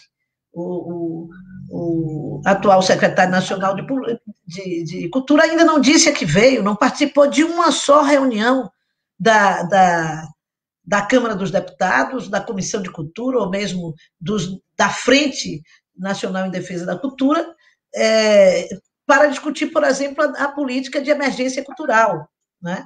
a política de auxílio cultural. Essa semana nós fizemos uma outra reunião, há dois dias atrás, com Jandira, para debater essa questão. Havia a promessa do secretário participar e ele lá não apareceu. Foi a segunda vez que nós fizemos reunião né, com esse objetivo.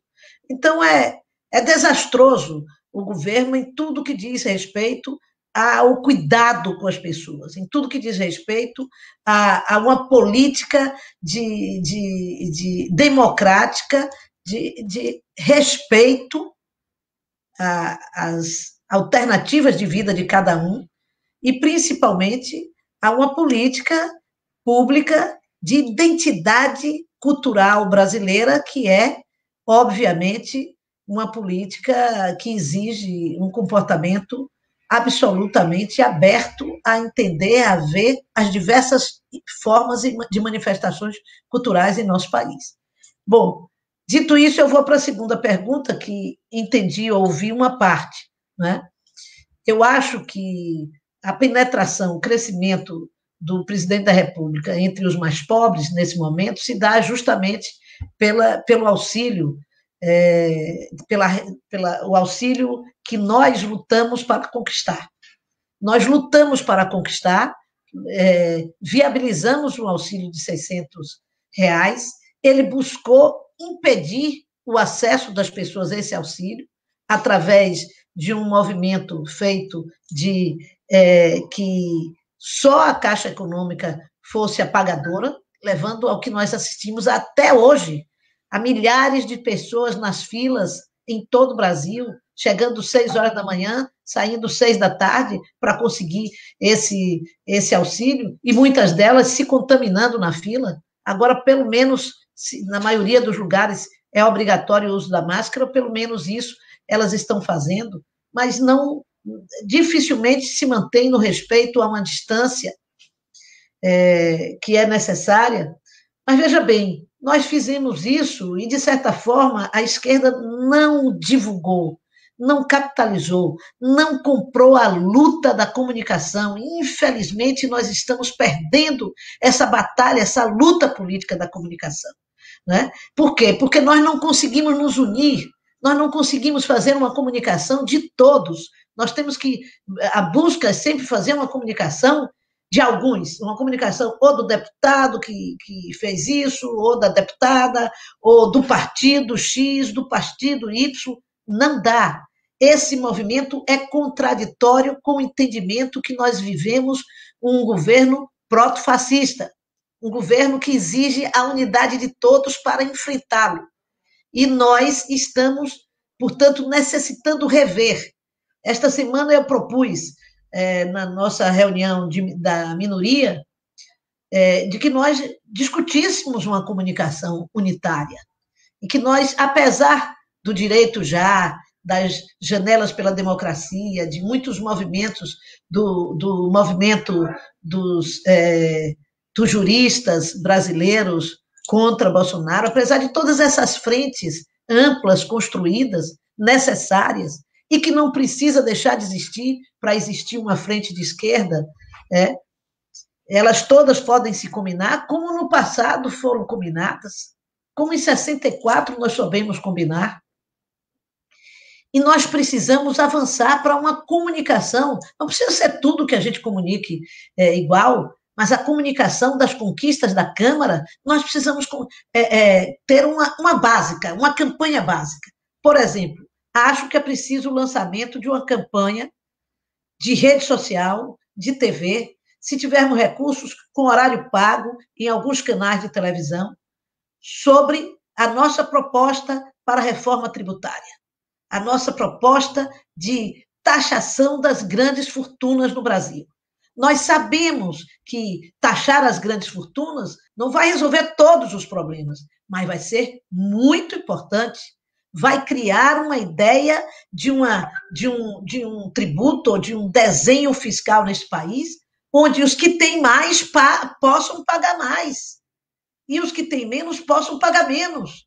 E, novamente, o governo vem com uma proposta ridícula, que é de é, é, apenas unificar, absolutamente tímida, apenas formal, unifica impostos e repõe uma carga tributária maior para aqueles que, que são responsáveis pela prestação de serviços no país.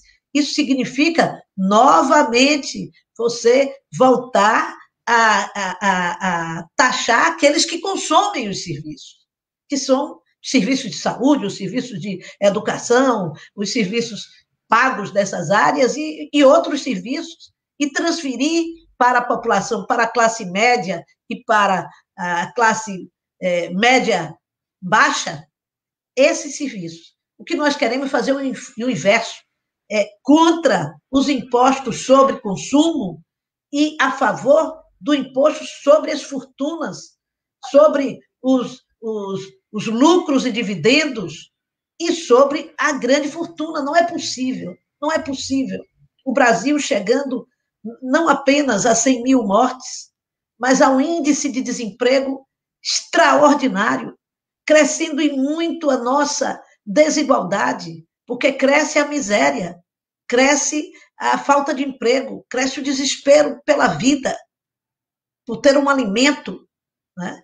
e nós tenhamos 42 bilionários no Brasil que cresceram em 34 bilhões a sua fortuna. Não é possível. Eu acho que alguns deles devem. Eles próprios ficam constrangidos. Chegaram a falar recentemente em que querem ser taxados, mas o Brasil não taxa. Né? O Paulo Guedes, o Paulo Malvadeza, quer taxar apenas os que não podem pagar. Veja bem, saí um pouco do assunto da sua pesquisa, mas para dizer isso, nós, para vencermos essa guerra, nós precisamos mostrar aos mais pobres quem somos nós, o que fizemos por eles, o que pretendemos continuar fazendo. É uma luta de retórica, não, é uma luta de demonstração daquilo que já fizemos. E é claro que eles, eles têm instrumento para divulgar a sua batalha. São governo, tem uma, uma, uma verba milionária, bilionária de, de publicidade e estão fazendo publicidade em todas as redes de televisão sobre as propostas de governo. Nós não estamos, não podemos enfrentar isso apenas com manifestação na rua, que são indispensáveis. Precisamos enfrentar isso de maneira profissional e abrindo os nossos corações e mentes para unificar ações, pelo menos as, as do parlamento. Muito obrigado, Lídice. Muito obrigado. É, Laina, vou voltar contigo agora. É, Laina, é, você estava me contando que antes de você é, ser do candomblé, você era evangélica. Né? E, e eu queria trazer para você uma, uma questão que a gente vive um momento no país hoje que é muito importante a gente conseguir construir diálogo, né? a gente conseguir construir pontes. E como é que é esse desafio? Porque se a gente não, não, não fizer isso, é, 2022 está aí e Bolsonaro leva na nossa divisão. Né? E ao mesmo tempo, só a gente falar para quem já está no campo progressista ou mesmo no campo conservador democrático, não, não resolve. Qual, como é que é o desafio, como é que se dá a construção da, do diálogo entre aquelas que são feministas e aquelas mulheres que ainda não se reconhecem como feministas? Como é que se constrói o diálogo, por exemplo, com mulheres é, de um campo mais conservador que, que não aceitam é, é, o feminismo, é, como, por exemplo, determinados setores dentro do campo evangélico. Como é, como é que você, você, imagina que seja possível construir esse, esse diálogo? É possível? Então, é necessário, né? Eu acho que, para além de possível, eu acho que é necessário fazer esse debate. Eu acho que hoje, é, e enfim, eu fui evangélica durante 11 anos, né? E, e, nesse processo, enquanto evangélica, é muito louco porque eu entro na igreja já sendo feminista, né? Então, eu entrei na igreja já sendo um, uma pedra no sapato, porque eu entro questionando tudo. E eu seguia questionando, e óbvio, né, eu fui expulsa de três igrejas. É, depois encontrei uma igreja mais progressista, que eu consegui me encontrar, mas enfim, tive minha conexão ancestral e né, hoje estou no candomblé. Mas, e defendo muito é, que existem vários olhares né, do, do povo evangélico. E eu acho que isso é um debate que é fundamental a gente trazer. Eu acho que existem pautas que unificam muito as lutas. Né? Eu acho que quando a gente dialoga com as mulheres, eu acho que a gente teve a PEC né, 181, o movimento contra a PEC 181 fez com que muitas mulheres evangélicas entendessem o quanto a vida delas também estava em risco, o quanto o direito delas também estava em risco. Então, eu acho que a gente precisa muito pensar estratégias para unificar pautas. E aí eu falava né, com o Fernando na, na ligação sobre isso. assim. Eu fico dizendo para as meninas né, que são feministas, né, enfim, companheiras de luta, e falo: gente, tem que ler Bíblia, tem que ler Bíblia, porque a gente precisa saber qual a arma do nosso inimigo. Então a gente precisa conhecer para poder usar como estratégia. Então, eu fui evangélica durante 11 anos e algo que eu fazia muito era debater sobre as figuras das mulheres na Bíblia. E é muito assustador, porque existe, na verdade, um movimento extremamente fundamentalista que é alienador. Né? Eu acho que isso é muito sério. Existe um processo do fundamentalismo que é alienante. Então, essas mulheres nem sequer abrem a Bíblia. Tem uma figura na igreja, que é eu tenho uma filha chamada Débora, e quero dizer isso a Letícia. A Letícia, minha filha, ama as aventuras de Poliana, viu? Preciso dizer isso. Assiste todos os dias, assiste reprise enlouquecidamente. É...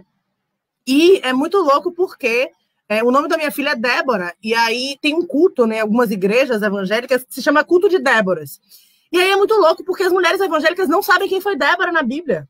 E aí é um processo de muito desconhecimento. Quem foi Débora na Bíblia? Você bota no Google Débora da Bíblia, você vai descobrir que ela foi uma líder militar. Líder militar e está na Bíblia. Então a gente precisa muito fazer um debate que é dialogar sobre as estratégias, né? Eu acho que a gente tem tido muito esse processo desse diálogo e eu acho que a gente acumula muito nisso. Eu trabalhei durante muito tempo com comunidades quilombolas, né, comunidade de, de é, é, luta pela terra. Então, esses espaços, eles majoritariamente, eles estão ocupados por mulheres evangélicas, especialmente mulheres negras evangélicas, que muitas vezes sofrem violência, né, muitas vezes rompem relacionamentos e muitas vezes são olhadas pela igreja de uma forma extremamente violenta. Então, a gente precisa muito é, ter estratégia nesse diálogo. Eu acho que a gente precisa muito respeitar a liberdade de crença, de culto das mulheres e fazer um debate sobre direitos. Né? Eu acho que a gente precisa muito trazer essas mulheres com um olhar muito crítico, mas também muito verdadeiro sobre a luta pelos direitos humanos. E para mim, né, que fui evangélica, quando eu estava dentro da igreja, a minha pauta era sempre dizer: Jesus é quem mais luta por direitos humanos. E foi o mais oprimido em razão de um Estado capitalista, de um Estado que era segregador e opressor contra os corpos e controlava corpos. Então, acho que a gente precisa muito ter estratégia nesse diálogo e a gente precisa promover esse diálogo né, de uma forma não só fraterna, não só de sororidade, né, de empatia, mas também de conhecimento e de estratégia. E eu acho que essa é esse é um debate que é necessário. A gente precisa muito disputar, disputar essas pessoas. Porque quando a gente debate, por exemplo, a perspectiva da luta antirracista e da luta antimachista e antissexista, as igrejas são os espaços que mais têm mulheres e negros e negras. A gente precisa fazer um debate sobre isso. As igrejas são majoritariamente ocupadas por mulheres e negros e negras. Então a gente precisa fazer um debate sobre isso. Não dá para a gente continuar achando que não dá para fazer esse debate. Pelo contrário, a esquerda, e eu sou da esquerda, enfim, né?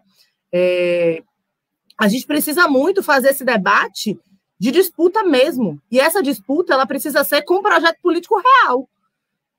A gente não tem mais como fazer, é, enfim, né, ver esse processo extremamente perverso né, de partidos fundamentalistas, de partidos que são né, ditos de direita, mas, enfim, alguns, inclusive, fascistas, que fazem um debate sobre comida. Dão cesta Esse período agora já começou, né? Já começou a compra de voto, né? Então, a entrega de cesta básica com troca de voto. A gente precisa mostrar para essas pessoas que existe um projeto político que é diferente. E eu acho que esse é o nosso debate. Eu acho que a esquerda, durante muito tempo, é, fez um trabalho que foi ocupar alguns espaços de vanguarda. É óbvio que a gente é muito mais fácil falar sobre aborto na universidade. É muito mais tranquilo e receptivo falar sobre direitos sexuais e reprodutivos dentro da universidade. É fácil falar para feministas, é fácil falar para quem a gente fala todos os dias e que defende tudo igual da gente. Mas fazer esse debate dentro da comunidade rural, por exemplo, o meu terreiro fica dentro de um assentamento da reforma agrária aqui, no interior, no município de Ilhéus.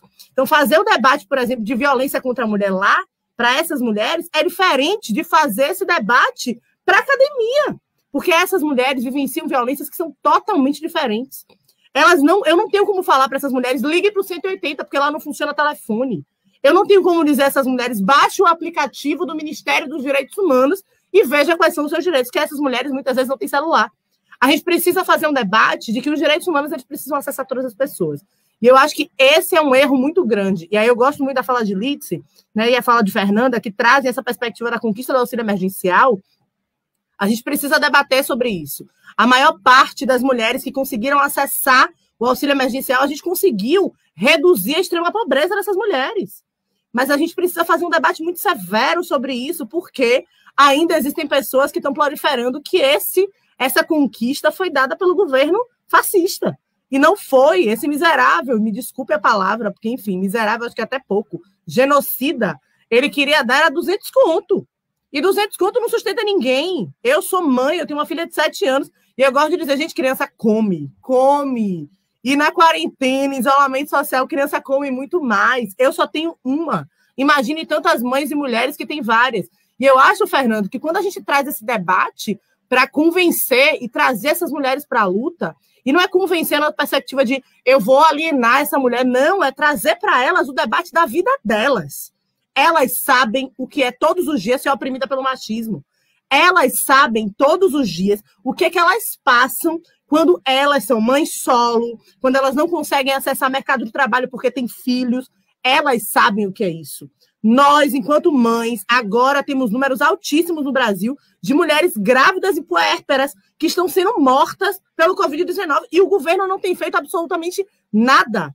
Então a gente precisa muito fazer o debate que é real. E eu acho que a esquerda é, não se furta ao debate. Eu acho que a gente, às vezes, é, não consegue entender que a gente precisa, sim, é, adequar no, as nossas palavras, adequar os nossos discursos para um debate que acesse todas as pessoas. Eu acho que esse é o nosso grande objetivo, eu acho que esse é, é, é, o grande desafio que a gente precisa romper, sabe? Eu acho que a gente precisa muito fazer esse debate. Enfim, eu ouvi todas as falas querendo falar, com, com, ouvindo e querendo complementar algumas coisas, e eu falei, meu Deus do céu, é muita coisa importantíssima que está sendo dita. Acho que a fala de Eva é muito importante, né, sobre essa perspectiva do aborto. Eu acho que a gente precisa muito defender essa pauta. A gente está vivendo um cenário né, político e jurídico em que as mulheres estão tendo ainda menos acesso ao aborto legal.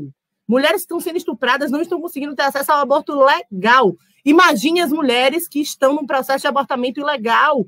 Esse processo está sendo ainda mais violento. Essas mulheres certamente vão morrer. E a gente não vai ter dados sobre isso, a gente não vai conseguir debater sobre isso. Litze, quando fala né, brilhantemente sobre a Constituição da Bahia, eu que sou daqui de Salvador, que vivencio todos os dias o desafio do enfrentamento à violência contra a mulher, a gente tem a Lei Maria da Penha, que é uma potência, porque debate sobre competência híbrida, quem é do direito vai entender o quão potente é isso. Nós temos raríssimas leis no Brasil de competência híbrida. O que é, competência híbrida? É você ter uma legislação que trate do civil e também do criminal. Então, a gente tem isso, essa potência na Lei Maria da Penha, mas a gente tem o Tribunal de Justiça daqui da Bahia que proíbe proíbe que a competência híbrida seja utilizada nas áreas de violência. Eu estou promovendo mais revitimização, eu estou fazendo com que mais mulheres sejam colocadas e postas a um debate de revitimização e também de julgamento, né, de dedos apontados. A gente precisa muito é, seguir fazendo essa luta, sabe, Fernanda? E eu acho potente, o ele não foi algo revolucionário. Eu gosto de dizer que é um marco na minha vida, né? Porque é quando eu começo a me relacionar com minha companheira, que hoje eu sou casada. Eu digo, gente, o 29 de setembro de 2018 ele foi marcante na perspectiva política e também do amor. Vários afetos e, enfim, que os afetos sigam para a luta. Então, eu acho que a gente precisa seguir fazendo luta. E eu acho que esse é o grande problema. Eu acho que existe uma tentativa muito absurda de silenciar as mulheres, de afastar as mulheres, de rivalizar a pauta das mulheres. E eu acho que quando o Lidse traz isso, traz também para nós o quanto nós, mulheres, nos revolucionamos e criamos uma outra trajetória política. A gente consegue se unificar, mesmo sendo de partidos diferentes, a gente consegue entender que as nossas dores são muito semelhantes. Tem uma companheira chamada Vilma Piedade que ela traz um termo que é para além de sororidade, é dororidade. Quando a gente sente a mesma dor, existe um caminho né, que vai traçar muito disso para nós. Então, eu acho que a gente precisa muito entender né, que as nossas dores são muito semelhantes, mas também entender e ter solidariedade com as dores de mulheres que às vezes não conseguem é, atuar da mesma forma que a gente, mas entender que todos os papéis eles são extremamente relevantes para que a gente siga fazendo a pauta feminista e a luta feminista em todos os lugares e para todas as pessoas. Então, eu acho que a gente precisa cada vez mais construir pontes e não muros, e não cercas, e não redomas, enfim. A gente não tem que se fechar em quadrado. Pelo contrário, a gente tem que romper para poder fazer uma grande roda e conseguir construir isso de forma mais cada vez mais coletiva, sabe? Eu acho que essa é a potência do feminismo, é revolucionar a partir desses olhares diversos, dessas dores diversas, e é assim que a gente consegue fazer com que todas as mulheres se sintam verdadeiramente acolhidas pelo feminismo, para que elas não continuem a reproduzir o que os homens fazem todos os dias, que a gente é louca, que a gente é histérica, que a gente é problemática. Pelo contrário, a gente luta pela primeira, a primeira condição é ser tratada como ser humano, como sujeito de direitos. Então, enfim, que a gente consiga entender essa potência e transformar essa potência também em luta para tantas outras mulheres que entendem o feminismo, às vezes, de forma muito distante, como rivalizando o machismo. Mas eu acho que o objetivo é outro, é trazer como o feminismo é uma luta para libertar mulheres e também homens, crianças, adolescentes, idosas e idosos. Eu acho que a grande potência do feminismo é essa, que a gente possa fazer revolução de forma coletiva, popular, anticapitalista, enfim, que a gente consiga fazer isso de uma forma extremamente grandiosa. Eu acho que esse é o exercício. Muito obrigado, Lena. Eu chamo agora a Fernanda Melchiona.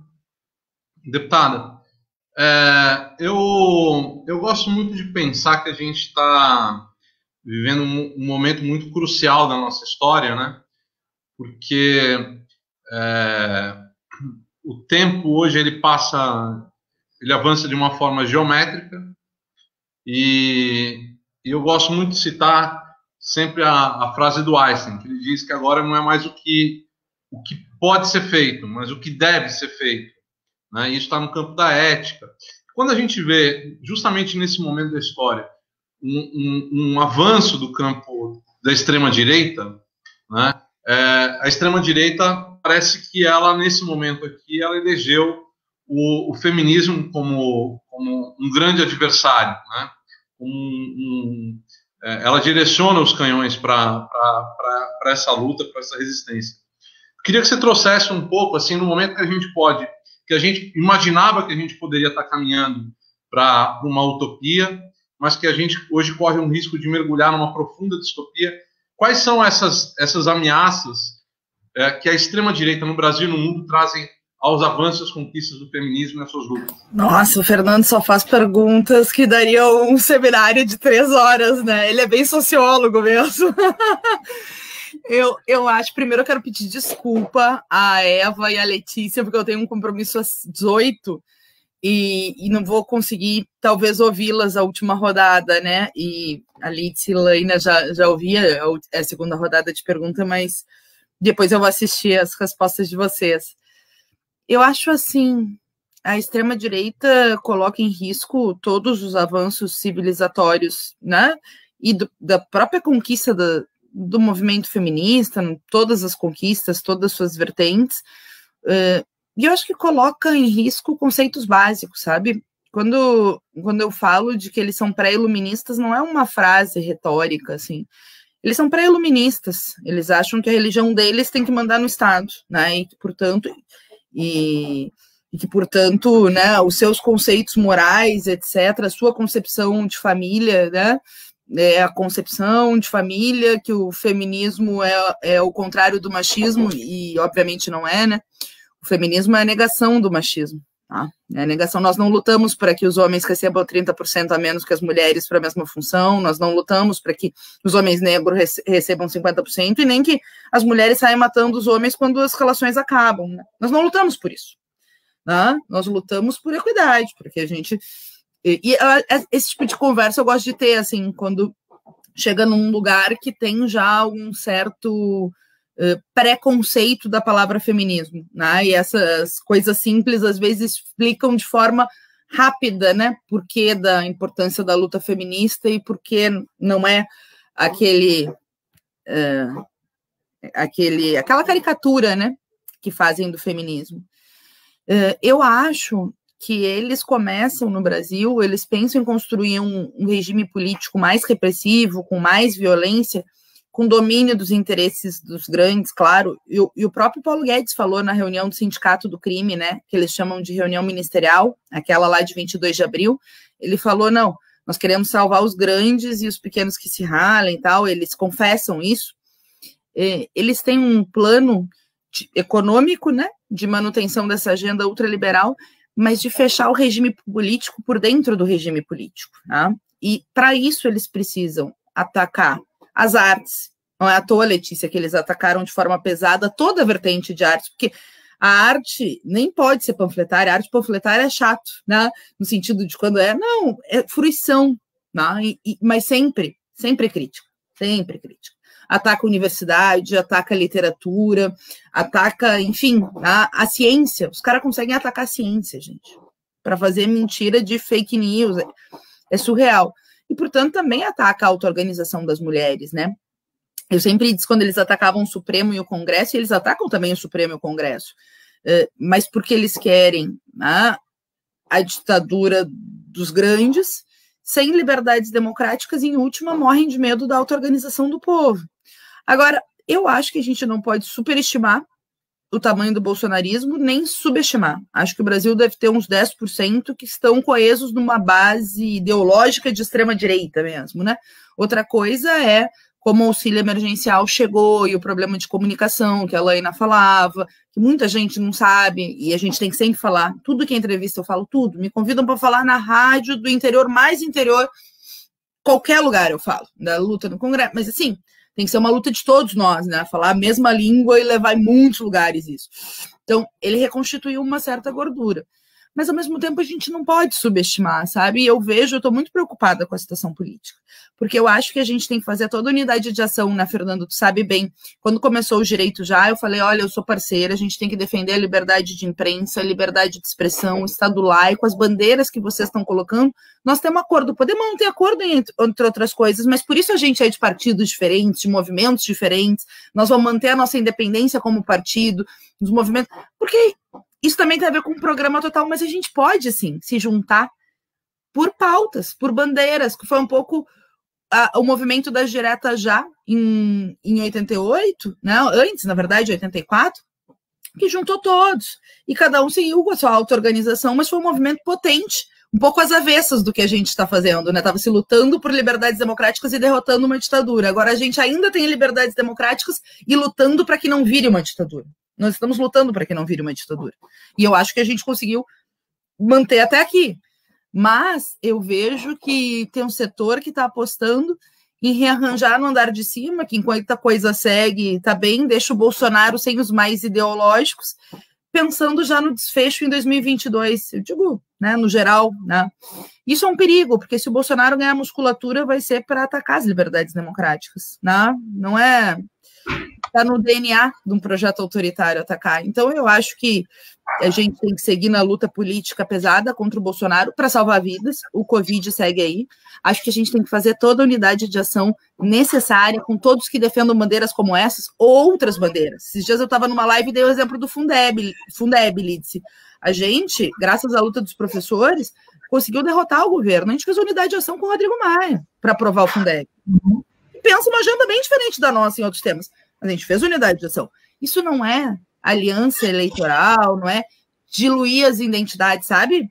Isso é um, uma coisa tão necessária a ser falada. Então, a gente defende a unidade de ação com todos para defender liberdades democráticas, mas eu também acho que é preciso construir um projeto autônomo, que a gente é parte, uh, é óbvio, porque me parece que a extrema-direita, Fernando, ocupa um vazio na política, de forma uh, profissional, com comunicação, Cambridge Analytics, mas o povo estava descontente com a crise econômica e com a repercussão dela na vida e com a crise política, porque essas instituições, volta e meia pela composição social, né, defendem os interesses dos grandes, das pessoas. Ficou um vazio. E aí, um setor do povo comprou gato por lebre, achou que estava votando contra o sistema, votando no que tem mais podre do sistema, que é o Bolsonaro. É verdade. É o mais podre. Agora a corrupção está toda à tona aí, né? Mas ao mesmo tempo eu acho que a gente tem que construir uma esquerda antissistema, sabe?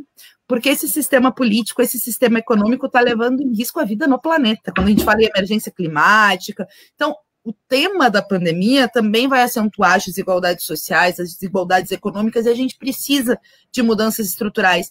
Mas defender uma esquerda antissistema não significa ser sectário e não fazer a unidade de ação necessária para defender liberdades democráticas, para defender liberdade de imprensa. Ao contrário, por isso, desde que tu lançou o movimento lá na Câmara, eu fiz questão de estar, né, com todos os grupos que tu convidaste. Para nós não tem problema, porque são temas. Nós não estamos fazendo, né? Uma diluição de projetos políticos, nós estamos defendendo liberdades democráticas da Constituição de 88 e a possibilidade do povo se auto-organizar e de ter uma saída política né, uh, para o futuro. Então, eu acho que é muito importante essa live. Adorei conhecer pessoalmente a Laina, a Eva e a Letícia. Muito prazer te rever. Seguimos juntos na luta, fora Bolsonaro, e ao mesmo tempo deixar aqui a nossa palavra de solidariedade né, para os familiares dos 100 mil das 100 mil vítimas, né? Nunca é um número, né? São pessoas, era o amor de alguém, o pai de alguém, a mãe de alguém, o filho de alguém. Enfim, então deixar solidariedade para os familiares e seguir afirmando que tirar o Bolsonaro é uma medida sanitária. Enquanto ele seguir, mais difícil será combater a pandemia. Muito obrigado, Fernanda. Muito feliz de ter você conosco na construção do movimento. Obrigado. Eva, é, professora, sigo com a senhora. É, a senhora teve um papel importante aí já é, na luta contra a ditadura militar, inclusive participando desde 64 já é, na resistência do momento do golpe. E a gente teve agora é, noticiado essa semana pela revista Piauí que no dia 22 de maio desse ano aqui, o presidente da República é, num conjunto de, de, ministros, a cúpula do governo, é, apresentou a, a, sua intenção declarada de, de invadir o Supremo, é, caçar os, os, ministros do Supremo Tribunal é, e, portanto, dar um golpe de Estado. É, como é que a senhora vê esse momento de ameaça à democracia que nós estamos vivendo hoje? Foi, foi você está falando daquela história que queria pegar Isso. o celular dele, né? Isso. Foi por causa disso. É. Olha, é, eu tenho umas várias coisas que eu acho que a gente deveria, antes de terminar, é, levar em conta. É, ameaçar de fechar o legislativo, o Senado, é, o Supremo, ele ameaça todo dia, não é novidade. Quer dizer, ele vai de helicóptero, ele vai a cavalo, ele vai é, de jet ski, é, o tempo todo. E foi uma das coisas que me deixou muito espantada ver como a, o Supremo aguentou toda essa todo o tempo que ele ficava ameaçando, ameaçando, quer dizer, fazer discurso contra, mandar fechar, sabe? Não foi, não é novidade, né? Para mim não era novidade. Agora, quando chegou na história do da coisa ser verdadeira mesmo, que ele disse, ah, agora eu vou interferir, aí a, a turma resolveu segurar, né? Porque aí era que aí seria o quê? Seria realmente tomar o poder. E aí os militares que não pensam que estão todos unidos, porque não estão, eles também seguraram. Então havia a ala dos que querem, as ala dos que não querem, e você sabe que é, uma atitude radical como essa seria uma coisa quase uma guerra, né? Seria. Quer dizer, a, aquela, aquele, aquele pessoal do exército que, que recebe aqueles abonos, aquela gente toda vai, vai ficar do lado deles. É a mesma coisa que o outro lado que está recebendo o auxílio de 600 reais. Então, essa, essa manobra, eu acho que a gente teve que ficar muito atento para isso E foi uma situação muito radical quando o Supremo se uniu e segurou, porque senão a coisa teria estourado. Agora, o outro ponto que eu, que eu queria levantar é o seguinte: nós chegamos nos 100 mil pessoas mortas. Mas vai parar? Vai parar nisso? Ele é um genocida. Ele decidiu fazer uma política que era para morrer os mais velhos, os mais pobres e a periferia. Não mentiu. E nós engolimos isso, infelizmente, com tudo que a gente deu apoio ao SUS, com tudo que uh, se tentou a sociedade civil, mas muito desorganizada. De qualquer modo, houve essa atitude genocida e ele conseguiu. O que me preocupa é o seguinte: não vai parar. Nós não vamos fazer nada? Como é que vai ser isso? Mas vamos esperar mais uma semana, mais duas semanas, porque não mudou nada. Aí é uma pena, as nossas deputadas que estão aí, mas não é só as nossas deputadas, é toda a sociedade civil tem que entrar nessa briga, porque realmente só tem dois caminhos para a gente parar com essa, com essa quantidade de mortes dessa maneira, que é seguir o que a ciência está dizendo. Tem que fechar, tem que parar, tem que usar a, a proteção, né, da, e tem que fazer com que o sistema de saúde funcione. Não é possível. Você pega na universi a universidade, a Universidade de São Paulo, né? E a do Rio, não, fizeram coisas maravilhosas, porque senão ainda o genocídio teria sido maior. E eu insisto no termo, porque isso foi programado, genocídio mesmo. Só que nós temos a primeira coisa que ser feita é parar e, e segurar e divulgar os caminhos que a ciência está nos dando e dizendo: olha, enquanto vem o idiota propondo para você usar, fazendo garoto propaganda para usar aqueles remédios que vão comprometer a saúde do indivíduo, porque compromete, ajuda a matar mais rápido, ninguém tenha dúvida aquilo, aquilo é um veneno. Aquilo você pega os estudos e você vê o que significa. Então, a primeira coisa a ser feita é segurar para que essa mortalidade não aumente do jeito que está sendo.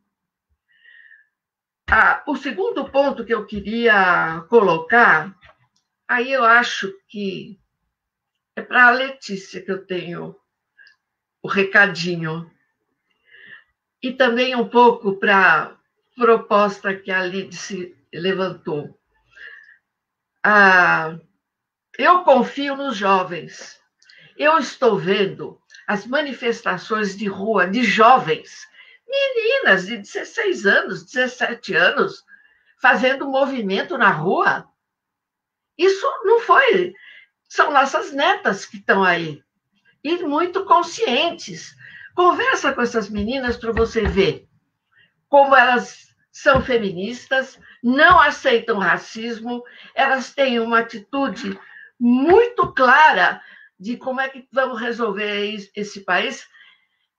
Quando você pega esses meninos que trabalham com a internet, que fazem esses jogos e tal, esses meninos estão sabendo das coisas. Quando você pega um rapaz como Felipe Neto, e abre a boca e fala o que ele fala, não. Eu acho que o quadro é outro. Então, tá bom, nós que já estamos nos postos e tal, que estamos na universidade ou não na universidade, a gente pode fazer uma porção de coisas. Mas essa, eu acho que a, a gente tem que prestar atenção e dar força para esses jovens porque a mudança vai sair a partir deles. Era isso que eu queria falar. Muito obrigado, professor Eva Blay.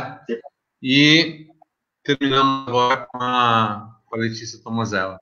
Letícia, Eu queria que você pudesse trazer um pouco essa reflexão da, dessa relação, desse momento difícil que nós estamos vivendo hoje, é, e o quanto isso sobrecarrega, sobrecarrega particularmente as mulheres, né? até pela relação da, da, nossa sociedade.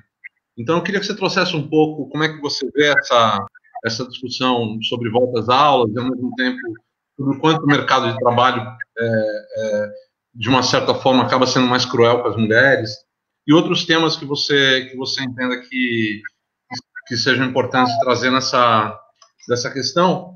É, e, e, por fim, te deixar à vontade aí para, como última fala, tocar em algum dos assuntos aí que você, da discussão que você queira, queira comentar. Então, é, essa parte que você essa pergunta, né? Depois eu quero até, de fato, sim, fazer um comentário que não é bem desse assunto. Mas essa pergunta é interessante porque no podcast Maternizando, que eu falei que, que eu tenho com a Júlia, é, a gente tem tocado muito nesse tema. O que, que acontece? E aí é que eu acho que é o gancho para falarmos com mulheres que não necessariamente estudem feminismo enquanto estudo teórico, acadêmico ou leitura, e mulheres que acham que não, não se identificam com o pensamento feminista, enfim, eu acho que é, é esse o viés que é. São, é quase, são perguntas-chave, do tipo, é, você tem um trabalho fora o trabalho do, doméstico? Sim. Na pandemia, você está trabalhando em casa? Sim, estou. Estou podendo, tenho internet, estou trabalhando. Ok. Na hora que o seu filho precisa de alguma coisa, ele interrompe o seu trabalho ou do pai? É, já começa daí ela entender que o feminismo é para todas as mulheres, independe de você ter uma leitura sobre isso, ou enfim, uma questão teórica sobre isso. É, na hora que aí tá, você, aí vou pensar agora em classe média, de média para cima, tá? A classe média tinha é, talvez diarista em casa, se não todo dia, talvez uma vez por semana. Vamos pensar num caso assim, tá? Pandemia, os conscientes dispensaram as diaristas e espero que os que possam é, ainda estejam pagando. Vamos pensar nesse retrato ideal. É, então, ok, a limpeza da casa ficou com a família não ficou com a família. Quem faz, é, é, vamos supor que você só mora com seu marido, é 50, é meio a meio. Aí tem você, seu marido já tem um adolescente de 16. É 30, 30, 30, 33, 33, 33, sabe assim, a porcentagem? Qual é? É? Quem é que limpa a sua casa? Quem é que é interrompido pelo filho? E, e quem é que às vezes é isso? Pequenas coisas. O trabalho do marido é sempre mais importante. Não sei porquê, não sei quem inventou. Eu estava debatendo isso com outras amigas minhas. Eu sei que de alguma maneira também é um debate um pouco classista, porque é, eu também quero falar com mulheres sobre e com mulheres que são mães solo, que não tem esse companheiro em casa para dividir nada, e daí a coisa piora mil, né, assim, mil por cento, e é daí que surge a ideia do podcast, que é é, compartilhar o maternar, redes mesmo. Eu sou muito ligado assim à, à causa indígena. Eu gosto, eu sou apaixonada pelo Acre. É, fui para lá algumas vezes, eu fiquei em aldeia e eu observei, assim, eu fiquei amiga de muitas indiazinhas crianças, que eu gostava muito delas, e, e eu observei a maneira como a maternidade é feita por lá, nessas aldeias. É, é compartilhada, a figura da mãe que não, que, que não tem no imaginário a identificação concreta com Mãe Maria, mãe extremosa, sagrada, pura, que não usa batom, essa figura não, não existe lá. Então, assim, a mãe que pariu, ela tem a sua seu devido lugar, ela trouxe aquela vida, mas as mães da aldeia todas vão maternar aquele ser. Então, temos muitas mães, muitos pais. E é por isso que a gente, eu sou madrasta e eu luto muito por essa formação de redes, até com relação à figura da madrasta que materna é, que ainda por cima tem outras mil, mil preconceitos da sociedade que une muito a figura da mulher à figura de Maria nessa, nessa tradição cristã, e, portanto, a mãe extremosa é uma coisa e a madrasta vem como Maria Madalena fazendo uma outra vertente. Então, assim, é, só, eu estou falando isso porque baseei um pouco os meus debates no podcast, mas, assim, com relação à, à pandemia e ao debate sobre o machismo, é, tem pequenas questões que seu marido pode não te bater, mas ele pode. É, que tipo, que tipo de abuso psicológico talvez você sofra, entende? É, ele, ele, ele, ele impulsiona que você brilhe, por exemplo, na sua carreira, vamos pensar em carreira daí. Ele impulsiona que você brilhe, ou para ele, seu trabalho também é menos importante, porque ele marcou uma super reunião e talvez essa reunião maravilhosa. É, não sei, os caras têm uma síndrome de Bill Gates e, e ficam marcando, tem mil reuniões e as mulheres não podem marcar tantas coisas porque a louça está lá, o bebê está chorando. Então, assim, é, eu acho que a partir desses pequenos exemplos que parecem tão idiotas, mas não são, porque isso, é, isso são exemplos que a gente pode introduzir em debates com mulheres que se considerem leigas numa, no tema do feminismo. E eu acho que ele tem que vir da prática. A sororidade, ela, ela tem sim que ser uma luta política, a sororidade ela tem que ser uma luta de um, de um movimento, de um coletivo. Eu acho que a transformação do feminismo ele, ele é um movimento coletivo, ele não é mais é, é, né, destruímos meritocracia, destruímos a, o crescimento do indivíduo como grande exemplo de qualquer coisa, é um crescimento coletivo, mas a sororidade, é, mas somos indivíduos que fazemos parte desse coletivo. A sororidade, ela, pode, ela tem que ser exemplificada para essas mulheres que, que eu estou dizendo, né, para introduzir esse debate, com exemplos com a vizinha, com exemplos com a própria madrasta do seu filho. Estou dando exemplo porque a gente trata muito disso. É, o, o conflito clássico, é, até porque foi introjetado na gente que a gente tem que sempre competir com outra mulher, que a gente não pode dividir lugar, sei lá o quê. O conflito clássico, quando forma hoje em dia, divórcio é uma coisa muito mais comum, não se tinha. É, antes, né, assim, é uma coisa até recente. Madrastas são muito comuns, família mosaico é muito comum, o conflito clássico mãe-madrasta é, é, que uma é uma competição por um lugar, você fala, gente, é aí que tem que parar, são nessas coisas, é, é, no valorizar o papel da outra, que é outro lugar, não é o seu, mas o papel pode ser compartilhado, é, é, é o olhar para é o olhar para uma história de violência com relação à mulher e parar de duvidar dela, ou de colocar ela como uma, uma corresponsável porque ela apanhou, porque ela é chata, porque ela traiu o marido, então ela merece ser socada, porque eu também já ouvi isso em muitos casos. Falar, ah, ela traiu ele, caguei que ela traiu ele. Assim, eu tô dando esse, parece exemplo muito novelesco, mas eles acontecem no dia a dia. É, aí, né, aí chamam de crimes passionais, até o nome parece novelesco, você fala, cara, é crime contra a vida. Então, eu sinto o seguinte: é, nesse momento de pandemia que tem crescido essas violências e outras violências, e a mulher está totalmente sobrecarregada, sobretudo mães, mães solo, totalmente sobrecarregada, elas, as mulheres voltaram a não poder, as, que tinham conseguido, né, essa, essa, essa, emancipação feminina de ter uma vida profissional, que foi uma conquista, é, não deixa de ser, né, antigamente a mulher não, tra não trabalhava fora, de repente tem um retrocesso, porque as mulheres muitas tiveram que ficar em casa, porque alguém tinha que ficar para cuidar dos filhos. E, e geralmente, não sei por que, automaticamente vai ser ela. Automaticamente vai ser ela. A não ser que ela ganhe mais, mas quando é que ela ganha mais? Em 1% dos casos? então, é, esse debate eu acho que vai com desde de outras questões com mulheres da periferia, outras que, essas questões mais de mulheres de classe média, e tem as questões que interferem nas mulheres de qualquer classe daí. É, que é uma opressão masculina. Então, eu sinto que esse, eu, eu gosto de levar esse debate para a, o ambiente que eu chamo de leigo, entende? É, que eu acho que é o meu papel de artista, plantar semente nos lugares meio improváveis, que eu sinto que, obviamente, as intelectuais e políticas também fazem, mas cada um de uma forma. Só quero dizer, você falou de eu perpassar, perpassar talvez um tema ou outro, duas coisas. É, uma hora eu acho que foi a Lidice que disse sobre, é, ou a, ou a Eva, sobre a censura ou a, a é, foi algo que, em relação à censura nas artes, a censura, né, assim, a opressão nas artes, o fascismo que a gente tem é, estado subordinado a ele, é, é, tá, tá, um pouco assim, eu não passo pela ditadura, eu tenho 34 anos, mas eu sinto que tem um lugar aí que ele é um pouco mais ácido, talvez, não sei, tá? Do que a censura que a gente teve é, durante a ditadura militar. Por quê? Eu vou falar como atriz de teatro. É, antes se tinha, quando a censura foi instaurada na, na ditadura militar, você tinha um carimbo, né? Você manda uma obra para análise, plau, censurado. Estava dito que estava censurado. Agora a censura está ocorrendo sim, só que ela não é dita. Ela diz, diz que não está. Não, não há censura. Mande o seu projeto para tal edital, para edital do banco tal, de não sei o que tal, para edital editais diversos, manda o seu projeto, mas é, muita gente lá que, que é do métier já fala, olha, se o seu projeto tiver um cunho político, não mande, você não vai pegar. Esse edital tal, ele, ele é assim, não, não pode ter nenhuma, nenhuma, nenhum debate político ou de gênero, melhor também não.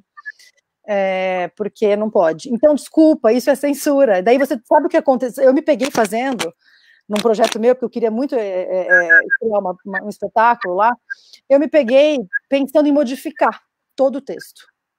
Autocensura. Exatamente, autocensura, porque é isso, é uma censura não dita, mas a mensagem chegou clara para mim. Ah, só faltou o carimbo, mas o, o carimbo é, é, espiritual, ele chegou, o carimbo invisível. Daí eu falei, eu vou modificar esse texto e vou entrar. E daí a gente conversando, conversei com o diretor da, da peça, a gente falou, cara, nós, não, então a gente não manda, essa peça estreia daqui a 10 anos, então, mas eu não vou modificar o texto. É, entende? Aí, só que aí eu também não estreio a peça e não levo, talvez, aquela obra para o público. Quer dizer, é culpa, isso é a censura. Só que uma censura não declarada. E eu acho que o artista, portanto, neste momento, gostaria de finalizar dizendo que é, você falou do papel da arte. Eu sei que está difícil para os artistas, sobretudo, porque tem editais emergenciais que cobra, que se você ganha, mil não ganham, um ganha, que eu mesma contei no meu vídeo, é, mas não, não tem, não está tendo campo de trabalho não tá, não estão acontecendo produções e, e, e espaço para o teatro estrear ou para uma série, ainda está tudo muito parado. Mas eu quero dizer para os artistas que eu sinto que não, não dá para parar.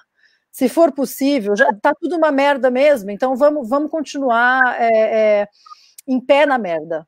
É, é tá, tá, vamos continuar em pé, vamos, faz, vamos continuar fazendo dentro das nossas casas, não, não deixa o pensamento e a criação parar é isso que eu queria que a gente, como artista, assim, é, é, dá, vazão mesmo para esse momento criativo, por quê? Mesmo que tem lá a live do Caetano, que é uma live que todo mundo vai assistir, aí pode ser que eu vá, vamos porque eu vou fazer uma live no meu Instagram, não vai ser nem 1% da, do, do que vou assistir, não vai ser o mesmo número da live do Caetano, mas é um movimento que se não para, quantitativamente, a gente sente uma argamassa produzindo, produzindo, e produzindo, e produzindo, e isso finda, isso instaura uma bandeira. Isso finda não, isso instaura, né? Isso inaugura é, é, um lugar de resistência e de, e de grito de dizer, é, tal, talvez eu sei que você quer nos matar de Covid, mas a arte vai, a gente vai, a gente vai continuar mesmo assim, até que a gente pode, enquanto a gente estiver vivo, a gente vai ficar. E quero só dar um, assim, dizer Bacana. aos familiares, igual o Fernando disse, com relação aos, aos mortos nesse país e, e, dizer assim o meu, meu mais profundo abraço e acho que a nossa luta aqui, esse debate é também por eles. Obrigada. Muito obrigado, Letícia. Muito obrigado. E, Laina, um minuto para as considerações finais aí nesse dia tão triste que a gente chega aos 100 mil mortos? Então, acho que é, a gente precisa pensar que esses números denotam uma outra questão, né? Que não é só o número de pessoas que foram mortas, né? Por esse vírus, mas é também um debate sobre o acesso à saúde, né, o aumento da violência contra a mulher nesse cenário, é, o genocídio dos jovens negros que seguem morrendo nas periferias com balas que nunca acham corpos que não sejam negros e pobres, né, e periféricos. É, quilombolas que têm morrido, que têm sido, né, têm passado por um processo assustador da contaminação de Covid e nenhuma política pública real tem sido feita, né, para esse combate e essa prevenção ao Covid. Não só comunidades quilombolas, mas comunidades indígenas, comunidades rurais. A gente precisa muito fazer um debate que além do número de mortos, né, a gente tem um altíssimo número de pessoas infectadas e que cada vez mais essas pessoas, antes as pessoas achavam que o vírus estava longe da gente. Agora, cada vez mais, as pessoas que estão morrendo e que estão infectadas estão mais perto da gente. Então, que a gente entenda que não são números, que são vidas, são histórias, são sonhos interrompidos, são famílias que estão destroçadas em razão dessas perdas. Então, a gente precisa muito fazer uma reflexão de tudo isso, uma reflexão da importância do SUS, da importância da educação, da importância de políticas públicas reais que pensem na vida das pessoas e não na economia, no lucro dos bancos, mas pensar que a vida das pessoas importa muito mais. Então, enfim, que a gente siga fazendo luta e que, enfim, essas mortes é, que doem tanto na gente sejam também é, combustível para a gente seguir na luta. Que a gente não pare de lutar, que a gente siga fazendo resistência e que a gente siga denunciando e incidindo na política para que mais pessoas não sigam morrendo. Acho que, enfim, era essa fala que eu queria fazer. Que a gente siga se cuidando, quem puder fique em casa, e que cada vez mais a gente pense umas nas outras, entendendo que esse cenário de isolamento social tem mostrado para nós que a gente depende uma das outras, que a gente não tem como fazer e seguir na luta se não for de forma coletiva. Então, acho que esse cenário tem mostrado para a gente exatamente isso, que as lutas coletivas elas são ainda mais potentes e ainda mais fortes. Então, que a gente siga fortalecendo as trincheiras do combate ao racismo, ao machismo, enfim, trazendo a luta contra a violação dos direitos humanos. Muito obrigado, Lamina. Eu quero falar mais uma coisinha, ah. posso? Não, é, é a tua vez, professora. é, eu, eu queria falar o seguinte. Eu fiz, a minha, minha trajetória passou tanto pelos movimentos sociais, pela periferia, por igrejas, por todos os grupos, sindicato, etc. E pela universidade. E eu acho que aqui eu ouvi umas, umas palavras relacionadas com a universidade, que eu acho que é, há uma má interpretação do significado da universidade, das universidades. Garantir a universidade pública é fundamental. Não é por acaso. Esse governo está fazendo de tudo para fechar a universidade pública e nós estamos resistindo. E não é fácil falar sobre direitos, sobre machismo, sobre feminismo dentro da universidade. Não se iludam. As pessoas que entram para a universidade são diversas. E você, você tem que ensinar também para meninos, para homens, que eles não devem ser machistas, ou que eles não podem, que eles têm que ter uma outra educação pela igualdade. É absolutamente fundamental que essa geração que entrou agora para a universidade, para a universidade pública, e que agora entrou 45%, gente, de, da população é, pobre e, e, negra, 45%, isso é uma novidade total. Essa população é uma população que, para a qual nós temos que trazer todos esses valores que nós estamos discutindo aqui. Não são, não são conceitos. Ninguém está falando que a universidade é um lugar que você fica só trabalhando com livros. Não é isso. A ciência, a, a ciência do SUS, a ciência dessa pandemia, o que está acontecendo é, como eh, proposta de controle. Desculpe. Como... Não, é, professora, só eu recebi só uma informação que a, a Liz está precisando se despedir da gente. Ah, mas então, eu só você... vou terminar a frase. Tá. Então, tá. eu Lídice, eu acho fundamental é, concluir dizendo o seguinte: nosso trabalho de ensinar e reensinar e reensinar é fundamental. Não se iludam, a universidade, sem a ciência que é construída a universidade e nos laboratórios, nós não vamos fazer nada. Tchau. Obrigado, professora. Lídice, Contigo aí a, a palavra final. Não, só para agradecer esse momento, Fernando, que você nos premiou, é, dizendo quanto eu aprendi, quanto foi importante esse espaço aqui. Lamentar profundamente, mandar o meu abraço de solidariedade a todos aqueles que perderam seus entes queridos nesse período, nesse momento que vivemos, e dizer que perdemos também hoje uma grande figura da luta contra a ditadura, do Dom Pedro Casadale, e que nós só podemos dizer, Dom Pedro presente, e a nossa luta continua. Boa noite para vocês.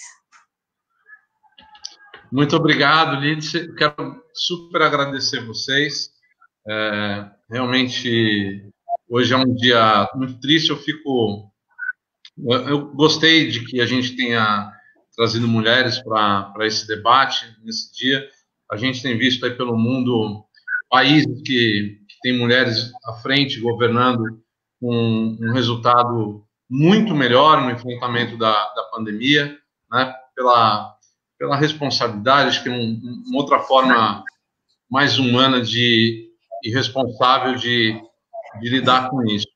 Eu, é, eu, eu tenho mediado toda essa série de debates e eu espero que os homens todos é, assistam essa live aqui.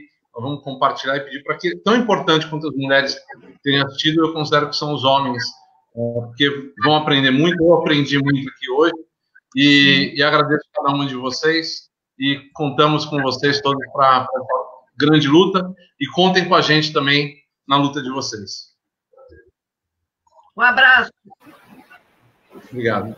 Obrigada demais. Foi Abraço, massa. Fernando. Muito legal. Obrigada a todas e ao Fernando. Beijo. Beijo. Obrigada, obrigada. Naina, Beijo. Tamo juntas, tamo juntos, tamo juntos. beijo aí no nosso território. Tchau, tchau. Até mais.